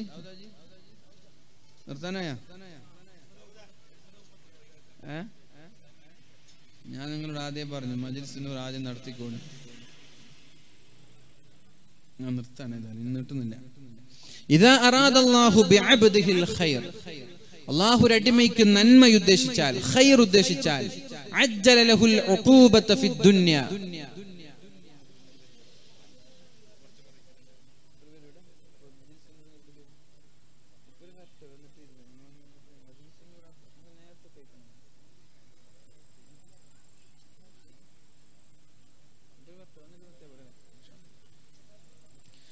ഇതാ അറാദ അല്ലാഹു ബിഅബ്ദിഹിൽ ഖൈറ അല്ലാഹു ഒരു അടിമയ്ക്ക് ഖൈർ ഉദ്ദേശിച്ചാൽ അഥവാ അല്ലാഹുവിന് നമ്മളോട് സ്നേഹമുണ്ടായാൽ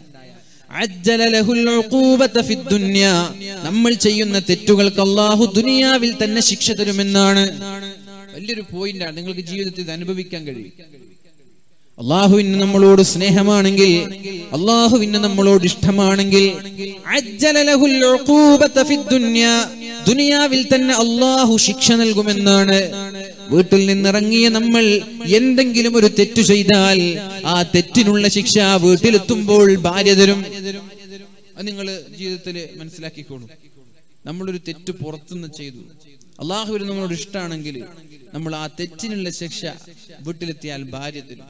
ഭാര്യ എന്തെങ്കിലും വിഷയം പറഞ്ഞ് നമ്മളുടെ സ്വൈര്യം നഷ്ടപ്പെടുത്തും. അന്ന് രാത്രി മര്യാദയ്ക്ക് ഉറങ്ങാൻ കഴിയില്ല. പുറത്തുനിന്ന് നമ്മൾ എന്തെങ്കിലും ഒരു തെറ്റ് ചെയ്തു അതിനുള്ള ശിക്ഷയായിട്ടാണ് അള്ളാഹു ദുനിയാവിൽ തന്നെ ശിക്ഷ തരുന്നത്. ഒരു സ്വഹാബി ജാഹിലിയ കാലത്ത് സ്നേഹിച്ചിരുന്ന പരിചയമുള്ള ഒരു പെണ്ണ് ഒരു വഴിയിലൂടെ പോകുന്നത് കണ്ടപ്പോ ആ പെണ്ണിനെ തന്നെ ഇങ്ങനെ നോക്കി. പെണ്ണ് പാസ്സായി. പെണ്ണ് പോയി. അങ്ങനെ പെണ്ണ് പോയപ്പോ തിരിഞ്ഞിങ്ങനെ നോക്കി നടന്നു പെട്ടെന്ന് ഒരു ചുമരിലേക്ക് നെറ്റി തട്ടി നെറ്റിയിൽ നിന്ന് രക്തം വന്നു. നബി തങ്ങൾ ചോദിച്ചു ഇതെന്താണെന്ന്? ചോദിച്ചു. അപ്പൊ പറഞ്ഞു നബി സംഭവം എങ്ങനെയാണ് സംഭവിച്ചതെന്ന് പറഞ്ഞു. അപ്പൊ നബി തങ്ങൾ പറഞ്ഞു ഉദ്ദേശിച്ചാൽ ദുനിയാവിൽ തന്നെ അള്ളാഹു അതിന് ശിക്ഷ നൽകുമെന്നാണ്. നമ്മളൊരു ഹറാമ് കണ്ടു. വേണ്ടാത്തൊരു പ്രവർത്തനം നമ്മളിൽ നമ്മളിൽ നിന്നുണ്ടായാൽ നമ്മുടെ ഭാര്യമാരിലൂടെയോ നമ്മുടെ മക്കളിലൂടെയോ അള്ളാഹുദിന് ശിക്ഷ നൽകുമെന്നാണ്. ഒന്നുകിൽ നമ്മൾ എന്തെങ്കിലും ഒരു കാരണത്താൽ വീഴുകയോ എന്തെങ്കിലും പ്രയാസങ്ങളോ ടെൻഷനോ നമ്മൾക്കുണ്ടാവും. അങ്ങനെ അള്ളാഹു ദുനിയാവിൽ തന്നെ ശിക്ഷ നൽകും. ഇനി ഒരു അടിമയ്ക്ക് അള്ളാഹു ഷർറാണ് ഉദ്ദേശിക്കുന്നത്. അയാളോട് അള്ളാഹുവിന് യാതൊരു സ്നേഹമില്ല. എങ്കിൽ അയാൾ ദുനിയാവിൽ വളരെ സന്തോഷത്തോടെ ജീവിക്കും. അയാൾക്ക് പ്രയാസങ്ങൾ ഉണ്ടാവൂല ബാധ്യതകൾ ഉണ്ടാവൂല ടെൻഷൻ ഉണ്ടാവൂല ജീവിതത്തിൽ മക്കളിലൂടെയുള്ള പരീക്ഷണങ്ങൾ ഉണ്ടാവൂല ഭാര്യമാരിലൂടെയുള്ള പരീക്ഷണങ്ങൾ ഉണ്ടാവൂല. എല്ലാം അള്ളാഹു താല ആഹ്റത്തിലേക്ക് എടുത്തു വെക്കുകയാണ്.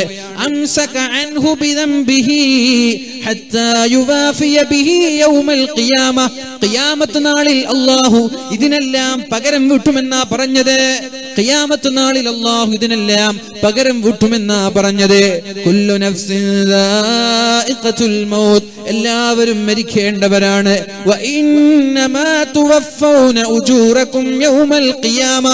നാളെ ഖിയാമത്ത് നാളിലാണ് നമ്മുടെ നന്മയും തിന്മയും അള്ളാഹു കണക്കാക്കി നോക്കുന്നത്. ആരാണോ നരകത്തിൽ ഒരു സെക്കൻഡ് പോലും കിടക്കാതെ അള്ളാഹുവിന്റെ സ്വർഗീയ ലോകം ആസ്വദിക്കാൻ ഭാഗ്യം ലഭിക്കുന്നവർ. അവരാണ് വിജയികൾ. നരകത്തിൽ ഒരു സെക്കൻഡ് കിടക്കാതെ സ്വർഗം കിട്ടണം. നരകത്തിൽ കിടന്നിട്ട് എല്ലാവരും സ്വർഗത്തിലെത്തുന്ന ഉറപ്പാണ്. മുസ്ലിമീങ്ങൾ. എന്ന് ചൊല്ലിയവർ സ്വർഗത്തിലെത്തുമെന്നുറപ്പാണ് പക്ഷേ ഒരു സെക്കൻഡ് പോലും നരകത്തിൽ കിടക്കാതെ സ്വർഗം നമ്മൾക്ക് കിട്ടണം. ആ സ്വർഗം കിട്ടാനുള്ള വഴി നമ്മുടെ കണ്ണുകളിലൂടെ അള്ളാഹു നമ്മൾക്ക് നൽകുന്നുണ്ട്. ആ സ്വർഗം കിട്ടാനുള്ള വഴി നമ്മുടെ കണ്ണുകളിലൂടെ അള്ളാഹു നമ്മൾക്ക് നൽകുന്നുണ്ട്. ഏതൊക്കെയാണ് ആ മനുഷ്യന്മാർ? ഒരു സെക്കൻഡ് പോലും നരകമില്ലാതെ അള്ളാഹു നരകത്തിൽ നിന്ന് പൂർണമായി മാറ്റി നിർത്തി സ്വർഗം ലഭിക്കുന്ന വിഭാഗമാരാണ് ഒന്ന് അള്ളാഹുവിനെ പേടിച്ച് കരഞ്ഞ കണ്ണുകൾ ഒറ്റയ്ക്കിരുന്നു കൊണ്ട് ഏകാന്തനായിരുന്നു കൊണ്ട് ആരാരും കാണാതെ ഒറ്റയ്ക്കൊരു മുറിയിലോ വിജനമായ സ്ഥലത്തോ ഇരുന്നു കൊണ്ട് അള്ളാഹുവിനെ ഓർത്ത് അള്ളാഹുവിന്റെ കബറിന്റെ ശിക്ഷയോർത്ത് അള്ളാഹുവിന്റെ നരകത്തെ ഓർത്തുകൊണ്ട് കരയുന്ന ആളുകൾ ഒരു ഈച്ചയുടെ തലയുടെ കണക്ക കണ്ണുനീർ തുള്ളി കണ്ണിൽ നിന്നിറ്റ് വീണാൽ അള്ളാഹു അവരെ ഒരു സെക്കൻഡ് പോലും നരകത്തിൽ കിടത്തൂല എന്നാണ്. വഅൈനുൻ സഹറത്ത്. അള്ളാഹുവിന് വേണ്ടി ഉറക്കൊഴിച്ച കണ്ണുകൾ. ഒന്നുകിൽ അള്ളാഹുവിന്റെ ധർമ്മ സമരത്തിൽ രാത്രി അള്ളാഹുവിന്റെ ദീനിന് വേണ്ടി കാവൽ നിന്നവർ അല്ലെങ്കിൽ രാത്രി ഉറങ്ങാതെ സുബഹി വരെ നിസ്കരിച്ചവർ കയ്യാമുല്ലയിൽ ഒരു രാത്രിയെങ്കിലും തീരെ കണ്ണടക്കാതെ തീരെ ഉറങ്ങാതെ അള്ളാഹുവിന് വേണ്ടി കയ്യാമുല്ലയിൽ നിസ്കരിച്ച ആളുകൾ അവരും നാളൊരു സെക്കൻഡ് പോലും നരകത്തിൽ കിടക്കൂല എന്ന് മുഹമ്മദ് റസൂലുള്ള. മൂന്നാമതായി അള്ളാഹുവിന്റെ ഹബീബ് പറഞ്ഞത് ഹറാമ് കാണുമ്പോൾ കണ്ണ് ചിമ്മിക്കളയുന്നവർ ഹറാമ് കാണും മനുഷ്യൻ നടക്കുന്ന വഴിയിലൂടെ പോകുന്ന സഞ്ചരിക്കുന്ന പാതയിലൂടെ മൊബൈലിലൂടെ ടിവിയിലൂടെ ഹറാമുകൾ കണ്ടേക്കാം. റോഡിന്റെ ഇരുവശങ്ങളിൽ ഫ്ലക്സ് ബോർഡുകൾ കാണാം. അതുപോലെ തന്നെ പോസ്റ്ററുകൾ കാണാം. ടി വി തുറന്നാൽ സിനിമ കാണാം സീരിയൽ കാണാം പരസ്യങ്ങൾ കാണാം. അങ്ങനെ ഹറാമ് കാണുമ്പോൾ ഇത് ഹറാമാണെന്ന ചിന്തയോടെ ഇതെനിക്ക് പാടില്ല എന്ന ചിന്തയോടെ അള്ളാഹുവിനെ പേടിച്ചൊരാൾ കണ്ണ് ചിമ്മിക്കളഞ്ഞാൽ അള്ളാഹു അതിന്റെ പേരിൽ ഒരു സെക്കൻഡ് പോലും നരകത്തിൽ കിടക്കാതെ സ്വർഗം ലഭിക്കാൻ അള്ളാഹു അവസരം നൽകുമെന്ന് മുഹമ്മദ് സല്ലല്ലാഹു അലൈഹി വസല്ലം ആ മൂന്ന് കണ്ണുകളിൽ ഒരാളെങ്കിലും ആവാൻ നമ്മൾ ശ്രമിക്കണം മൂന്ന് കണ്ണുകളിൽ ഒരാളെങ്കിലും ആവാൻ നമ്മൾ ശ്രമിക്കണം കാരണം. ആരാണോ നരകത്തിൽ നിന്ന് മാറ്റി നിർത്തപ്പെടുന്നത്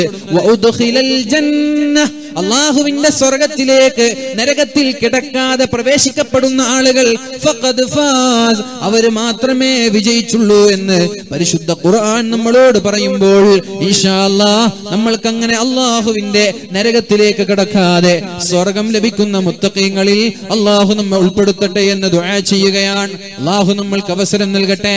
പരിശുദ്ധമായ ഖുർആാനിലൂടെ ആദ്യമായി ഞാൻ ഓതി വെച്ച ആയത്ത് ബിസ്മില്ലാഹിർ റഹ്മാനിർ റഹീം വലനബ്ലുവന്നകും ബിശൈഇൻ മിനൽ ഖൗഫ് നിങ്ങൾക്ക് ഞാൻ പേടിക്കൊണ്ട് ഭയം കൊണ്ട് നിങ്ങളെ ഞാൻ പരീക്ഷിക്കും. പുറത്തിറങ്ങാൻ പേടിയുണ്ടാവും നിങ്ങൾക്ക്. ഞാൻ പറയട്ടെ ഞാൻ പറയട്ടെ എന്റെ പ്രിയമുള്ള മിനിങ്ങളെ നിയമങ്ങളെല്ലാം നമ്മൾക്കെതിരെയാവുക. നിയമങ്ങളെല്ലാം നമ്മൾക്കെതിരെയാവുക. സ്വാഭാവികമായി ഒരു മനുഷ്യൻ ആത്മഹത്യ ചെയ്യുകയാണെങ്കിൽ ആ കുടുംബം പോയി ഇത് അസ്വാഭാവിക മരണമാണ് ഇതിൽ ദുരൂഹതയുണ്ട് എന്ന് പറഞ്ഞാൽ നിയമപാലകരും കോടതിയുമെല്ലാം അതിന്റെ പിന്നാമ്പുറങ്ങളിലേക്ക് ഇറങ്ങിച്ചെല്ലാൻ മത്സരിക്കാറുണ്ട്. എന്നാൽ ആത്മഹത്യയാണെന്ന് വളരെ ഉറപ്പായ സംഭവമാണ് നമ്മുടെ സി എം ഉസ്താദിന്റെ മരണം. ആത്മഹത്യ ആത്മഹത്യയാണെന്ന് ഉറപ്പാണ്. അതിനുള്ള തെളിവുകൾ ഒന്നിന് പിറകെ ഒന്നായി വളരെ വ്യക്തമായ തെളിവുകൾ സമർപ്പിച്ചിട്ടും എന്തുകൊണ്ടോ അധികാരത്തിന്റെ തിണ്ണമെടുക്കുകൊണ്ടോ സമ്പത്തിന്റെ അല്ലെങ്കിൽ സമ്പത്തിന്റെ വലുപ്പം കൊണ്ടോ നോട്ടുകെട്ടുകളുടെ വലുപ്പം കൊണ്ടോ മഹാനായ സി എം ഉസ്താദിന്റെ ആ ദ്രൂഹമായ മരണത്തെ ആത്മഹത്യയാക്കി ചിത്രീകരിക്കാനാണ് നമ്മുടെ നിയമപാലകരും അതുപോലെ അതുമായി നമ്മളുമായി ബന്ധമുള്ള പല ആളുകളും ശ്രമിച്ചത്. ഞാൻ ചോദിക്കട്ടെ ഏതെങ്കിലും ഒരാൾ ഒരു വീട്ടിൽ മരിച്ചു കിടക്കുന്നത് കണ്ടാൽ ആത്മഹത്യയാണെന്ന് പറഞ്ഞാൽ അതിൽ ദുരൂഹതയുണ്ട് എന്ന് പറയുമ്പോൾ അതിനെക്കുറിച്ച് അന്വേഷണം നടത്തുന്നവർ എന്തേ നമ്മുടെ സി മുസ്താദിന്റെ വിഷയത്തിൽ ഇത്രയും താല്പര്യം കാണിക്കാത്തത്? എവിടെ പോയി നമ്മുടെ നേതാക്കന്മാർ? ഇതിനു വേണ്ടി ശബ്ദിക്കേണ്ടത് നമ്മുടെ നേതാക്കന്മാരെയല്ല നേതാക്കന്മാരല്ലയോ? ഇതിനു വേണ്ടി ശബ്ദിക്കേണ്ടത് നിയമപരമായി ശബ്ദിക്കേണ്ട നമ്മുടെ ഭരണകൂടം എവിടെ? നമ്മൾ സപ്പോർട്ട് ചെയ്യുന്നവർ എവിടെ? കൂടെ നിൽക്കേണ്ടവർ പോലും മാറി നിന്ന് മഹാനായ സി എം ഉസ്താദിന്റെ കുടുംബത്തിന് നീതി വാങ്ങിച്ചു കൊടുക്കാത്തത് വളരെ പേടിപ്പെടുത്തുന്ന വിഷയമാണ് വളരെ വേദന നൽകുന്ന വിഷയമാണ്. അതേപോലെ വടകര ഭാഗത്തുള്ള ഒരു സഹോദരൻ ഷംന എന്ന് പറയുന്ന പൊന്നുമോൾ ഡോക്ടർമാരുടെ ഡോക്ടർമാരുടെ അശ്രദ്ധ മൂലം മരിച്ചു പോവുകയും രണ്ട് വർഷക്കാലമായ ആ പിതാവ് തന്റെ മകളുടെ നീതിക്ക് വേണ്ടി പോരാടി ഇന്ന് ആ സഹോദരൻ മസ്കറ്റിൽ വെച്ച് മരിച്ചു പോവുകയാണ്. നമ്മുടെ ആദരണീയരായ ഷെഹുന ചേലക്കാട് ഉസ്താദ് അവർ നമ്മുടെ വേദിയിലേക്ക് കടന്നു വന്നുകൊണ്ടിരിക്കുന്നു. അള്ളാഹു അക്ബർ അള്ളാഹു അക്ബർ അള്ളാഹു അക്ബർ. ലാ ഇലാഹ ഇല്ലല്ലാഹു വല്ലാഹു അക്ബർ. അല്ലാഹു അക്ബർ അള്ളാഹു ആഫിയത്തും ആരോഗ്യവും അള്ളാഹു നിലനിർത്തി കൊടുക്കട്ടെ. സമസ്ത കേരള ജമയത്തുൽ ഉലമയുടെ കേന്ദ്ര മുഷാവർ അംഗമാണ് നമ്മുടെ ഷെയ്ഖുന ചേലക്കാട് ഉസ്താദ് അവർ ഞാൻ ഞാനിനി വിശദീകരിക്കാൻ ആഗ്രഹിക്കുന്നില്ല.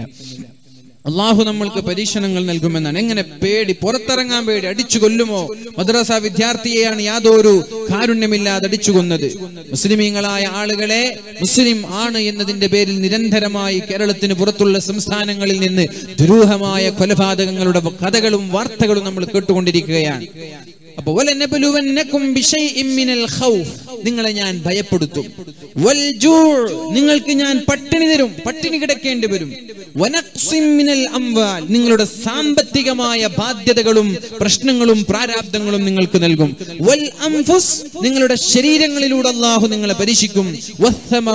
കൃഷിയിലൂടെ ഫലങ്ങളിലൂടെ. എന്നാൽ ഇത്തരം സാഹചര്യങ്ങളിൽ ആരാണോ അള്ളാഹുവിനെ ഓർത്ത് അൽഹംദുലില്ലാ എന്ന് പറയുന്നവർ കടം ബാധ്യതയുണ്ടായി. വലിയ കോടീശ്വരന്മാർ ഒരു സുപ്രഭാതത്തിൽ ഒന്നുമില്ലാതെയാവുകയാണ് സമ്പത്ത് മുഴുവനും പല കേസുകളിൽ അകപ്പെട്ട് മുഖം നോക്കി പുറത്തിറങ്ങാൻ കഴിയാതെ പ്രയാസങ്ങൾ അനുഭവിക്കുന്ന കോടീശ്വരന്മാരറിയാം. പുറത്തിറങ്ങാൻ കഴിയാത്ത രീതിയിലേക്ക് അവർ വല്ലാത്ത പ്രതിസന്ധിയിലൂടെ കടന്നു പോകുന്നവർ. അത്തരം സാഹചര്യങ്ങളിൽ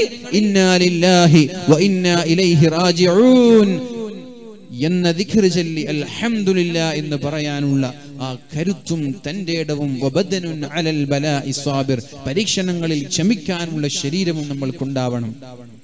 ഓരോ പരീക്ഷണങ്ങളും അള്ളാഹു നമ്മൾക്ക് നൽകുന്നത് നമ്മുടെ പാപങ്ങൾ പുറത്തു തരാനാണെന്ന്.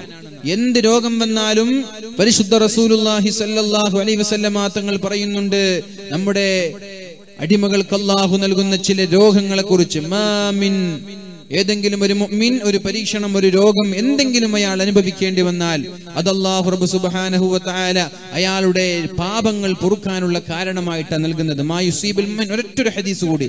മാ യുസീബുൽ മുഅ്മിന മിൻ നസ്ബിൻ ഒരു സത്യവിശ്വാസിക്ക് ഒരു ക്ഷീണമുണ്ടായാൽ ക്ഷീണം ക്ഷീണമുണ്ടാവുന്നു. പെട്ടെന്നൊരു തളർച്ച പെട്ടെന്നൊരു ക്ഷീണം ഉന്മേഷക്കുറവ്. ആ സമയത്ത് നമ്മൾ പറയുന്നു ഇന്നാ ലില്ലാഹി വ ഇന്നാ ഇലൈഹി റാജിഊൻ. വലാ എന്തെങ്കിലും ഒരു രോഗം തലവേദന പല്ലുവേദന നടുവേദന വല്ല രോഗങ്ങളും നമ്മൾക്കുണ്ടായി. അപ്പോഴും നമ്മൾ പറയുന്നു വ ഇന്നാ ഇലൈഹി റാജിഊൻ. വലാ ഹമ്മിൻ വല്ല ദുഃഖവും എന്തെങ്കിലും മക്കൾ മരിച്ചു പോവുക. സാമ്പത്തികമായ ബിസിനസ്സിലെ ആ ബാധ്യതകൾ കൊണ്ടുള്ള ടെൻഷൻ ജീവിതത്തിലെ മറ്റെന്തെങ്കിലും പ്രയാസം വല ഹമ്മിൻ ദുഃഖമുണ്ടാവുക. വല ഹുസ്നിൻ വിഷമമുണ്ടാവുക. വലാ ഗമ്മിൻ മറ്റേതെങ്കിലും പ്രയാസങ്ങൾ ഉണ്ടാവുക ഇതെല്ലാം ഒരു മനുഷ്യനുണ്ടായി. നടന്നു പോകുന്ന വഴിയിൽ കാലിലേക്ക് ഒരു മുള്ളു തറക്കുന്നത് പോലും വണ്ടിയിലൂടെ യാത്ര ചെയ്യുമ്പോ കാറിന്റെ ടയർ പഞ്ചറാവുന്നത് പോലും വണ്ടി എവിടെയെങ്കിലും പോയി ഇടിക്കുന്നത് പോലും അല്ലെങ്കിൽ ഏതെങ്കിലും കാരണത്താൽ നമ്മുടെ വണ്ടി യാത്ര ചെയ്യാൻ പറ്റാതെ പകുതിയിൽ കേടാവുന്നത് പോലും ഇങ്ങനെ ഏത് പരീക്ഷണങ്ങൾ നമ്മെ സംബന്ധിച്ചിടത്തോളം ഈ പരീക്ഷണങ്ങളെല്ലാം ഇല്ല. ജീവിതത്തിൽ ചെയ്ത മുഴുവൻ പാപങ്ങളും പുറത്തു തരാൻ അള്ളാഹു അവസരം നൽകുകയാണ്. മരങ്ങളിൽ നിന്ന് ഇലകൾ കൊഴിഞ്ഞു പോകുന്നത് പോലെ ഒരൊറ്റ ഒരു രോഗം വരുമ്പോ അള്ളാഹുവിനെ ഓർത്ത് ക്ഷമിക്കുന്നവന്റെ ചിന്മയുടെ ഏടിൽ നിന്ന് പാപങ്ങൾ അള്ളാഹു മുഴുവനും മായ്ച്ചു കളയുമെന്ന് മുഹമ്മദ് റസൂലുള്ളാഹി സല്ലല്ലാഹു അലൈഹി അതുകൊണ്ട് ഇത്തരം പരീക്ഷണങ്ങൾ ഉണ്ടാകുമ്പോ ക്ഷമിച്ചുകൊണ്ട് ജീവിക്കുക. അൽഹംദുലില്ലാ എന്റെ റബ്ബ് തന്നതല്ലയോ? എന്റെ റബ്ബ് തന്നതല്ലയോ? അല്ലാഹുമ്മ അജ്ർനി ഫീ മുസീബതി വഅഖ്ലിഫ് ലി ഖൈറൻ മിൻഹാ. ഇന്നാ ലില്ലാഹി വ ഇന്നാ ഇലൈഹി റാജിഊൻ. അല്ലാഹുവേ ഈ മുസീബത്തിൽ ഞാൻ ക്ഷമിക്കുകയാണ്. എനിക്ക് നീ കൂലി തരണേ അല്ലാ. എനിക്ക് നീ പ്രതിഫലം തരണേ അല്ലാ. ഇതിനേക്കാളും നല്ല ഒരു പകരം നീ എനിക്ക് തരണേ എന്നുള്ള ദിക്റ് ചൊല്ലി. പ്രയാസങ്ങളെ നെഞ്ചുറപ്പോടെ നെഞ്ചുറപ്പോടെ പതറാത്ത പാദത്തോടെ നേരിട്ട് പുഞ്ചിരിയോടെ ആ പ്രയാസങ്ങളിലും പരീക്ഷണങ്ങളിലും പിടിച്ചു നിൽക്കാൻ കഴിഞ്ഞാൽ ഇൻഷാ അല്ലാ ദുനിയാവും ആഖിറവും വിജയത്തിലാകും. അള്ളാഹു തൗഫീക്ക് നൽകട്ടെ എന്ന് ദുആ ചെയ്ത് ഞാൻ എന്റെ വാക്കുകൾ ഉപസംഹരിക്കുന്നു. ഉസീക്കും ബിദുആ ജസാക്കുമുല്ലാഹ് ഖൈർ അസ്സലാമു അലൈക്കും വറഹ്മത്തുള്ളാഹി വബറകാതുഹു.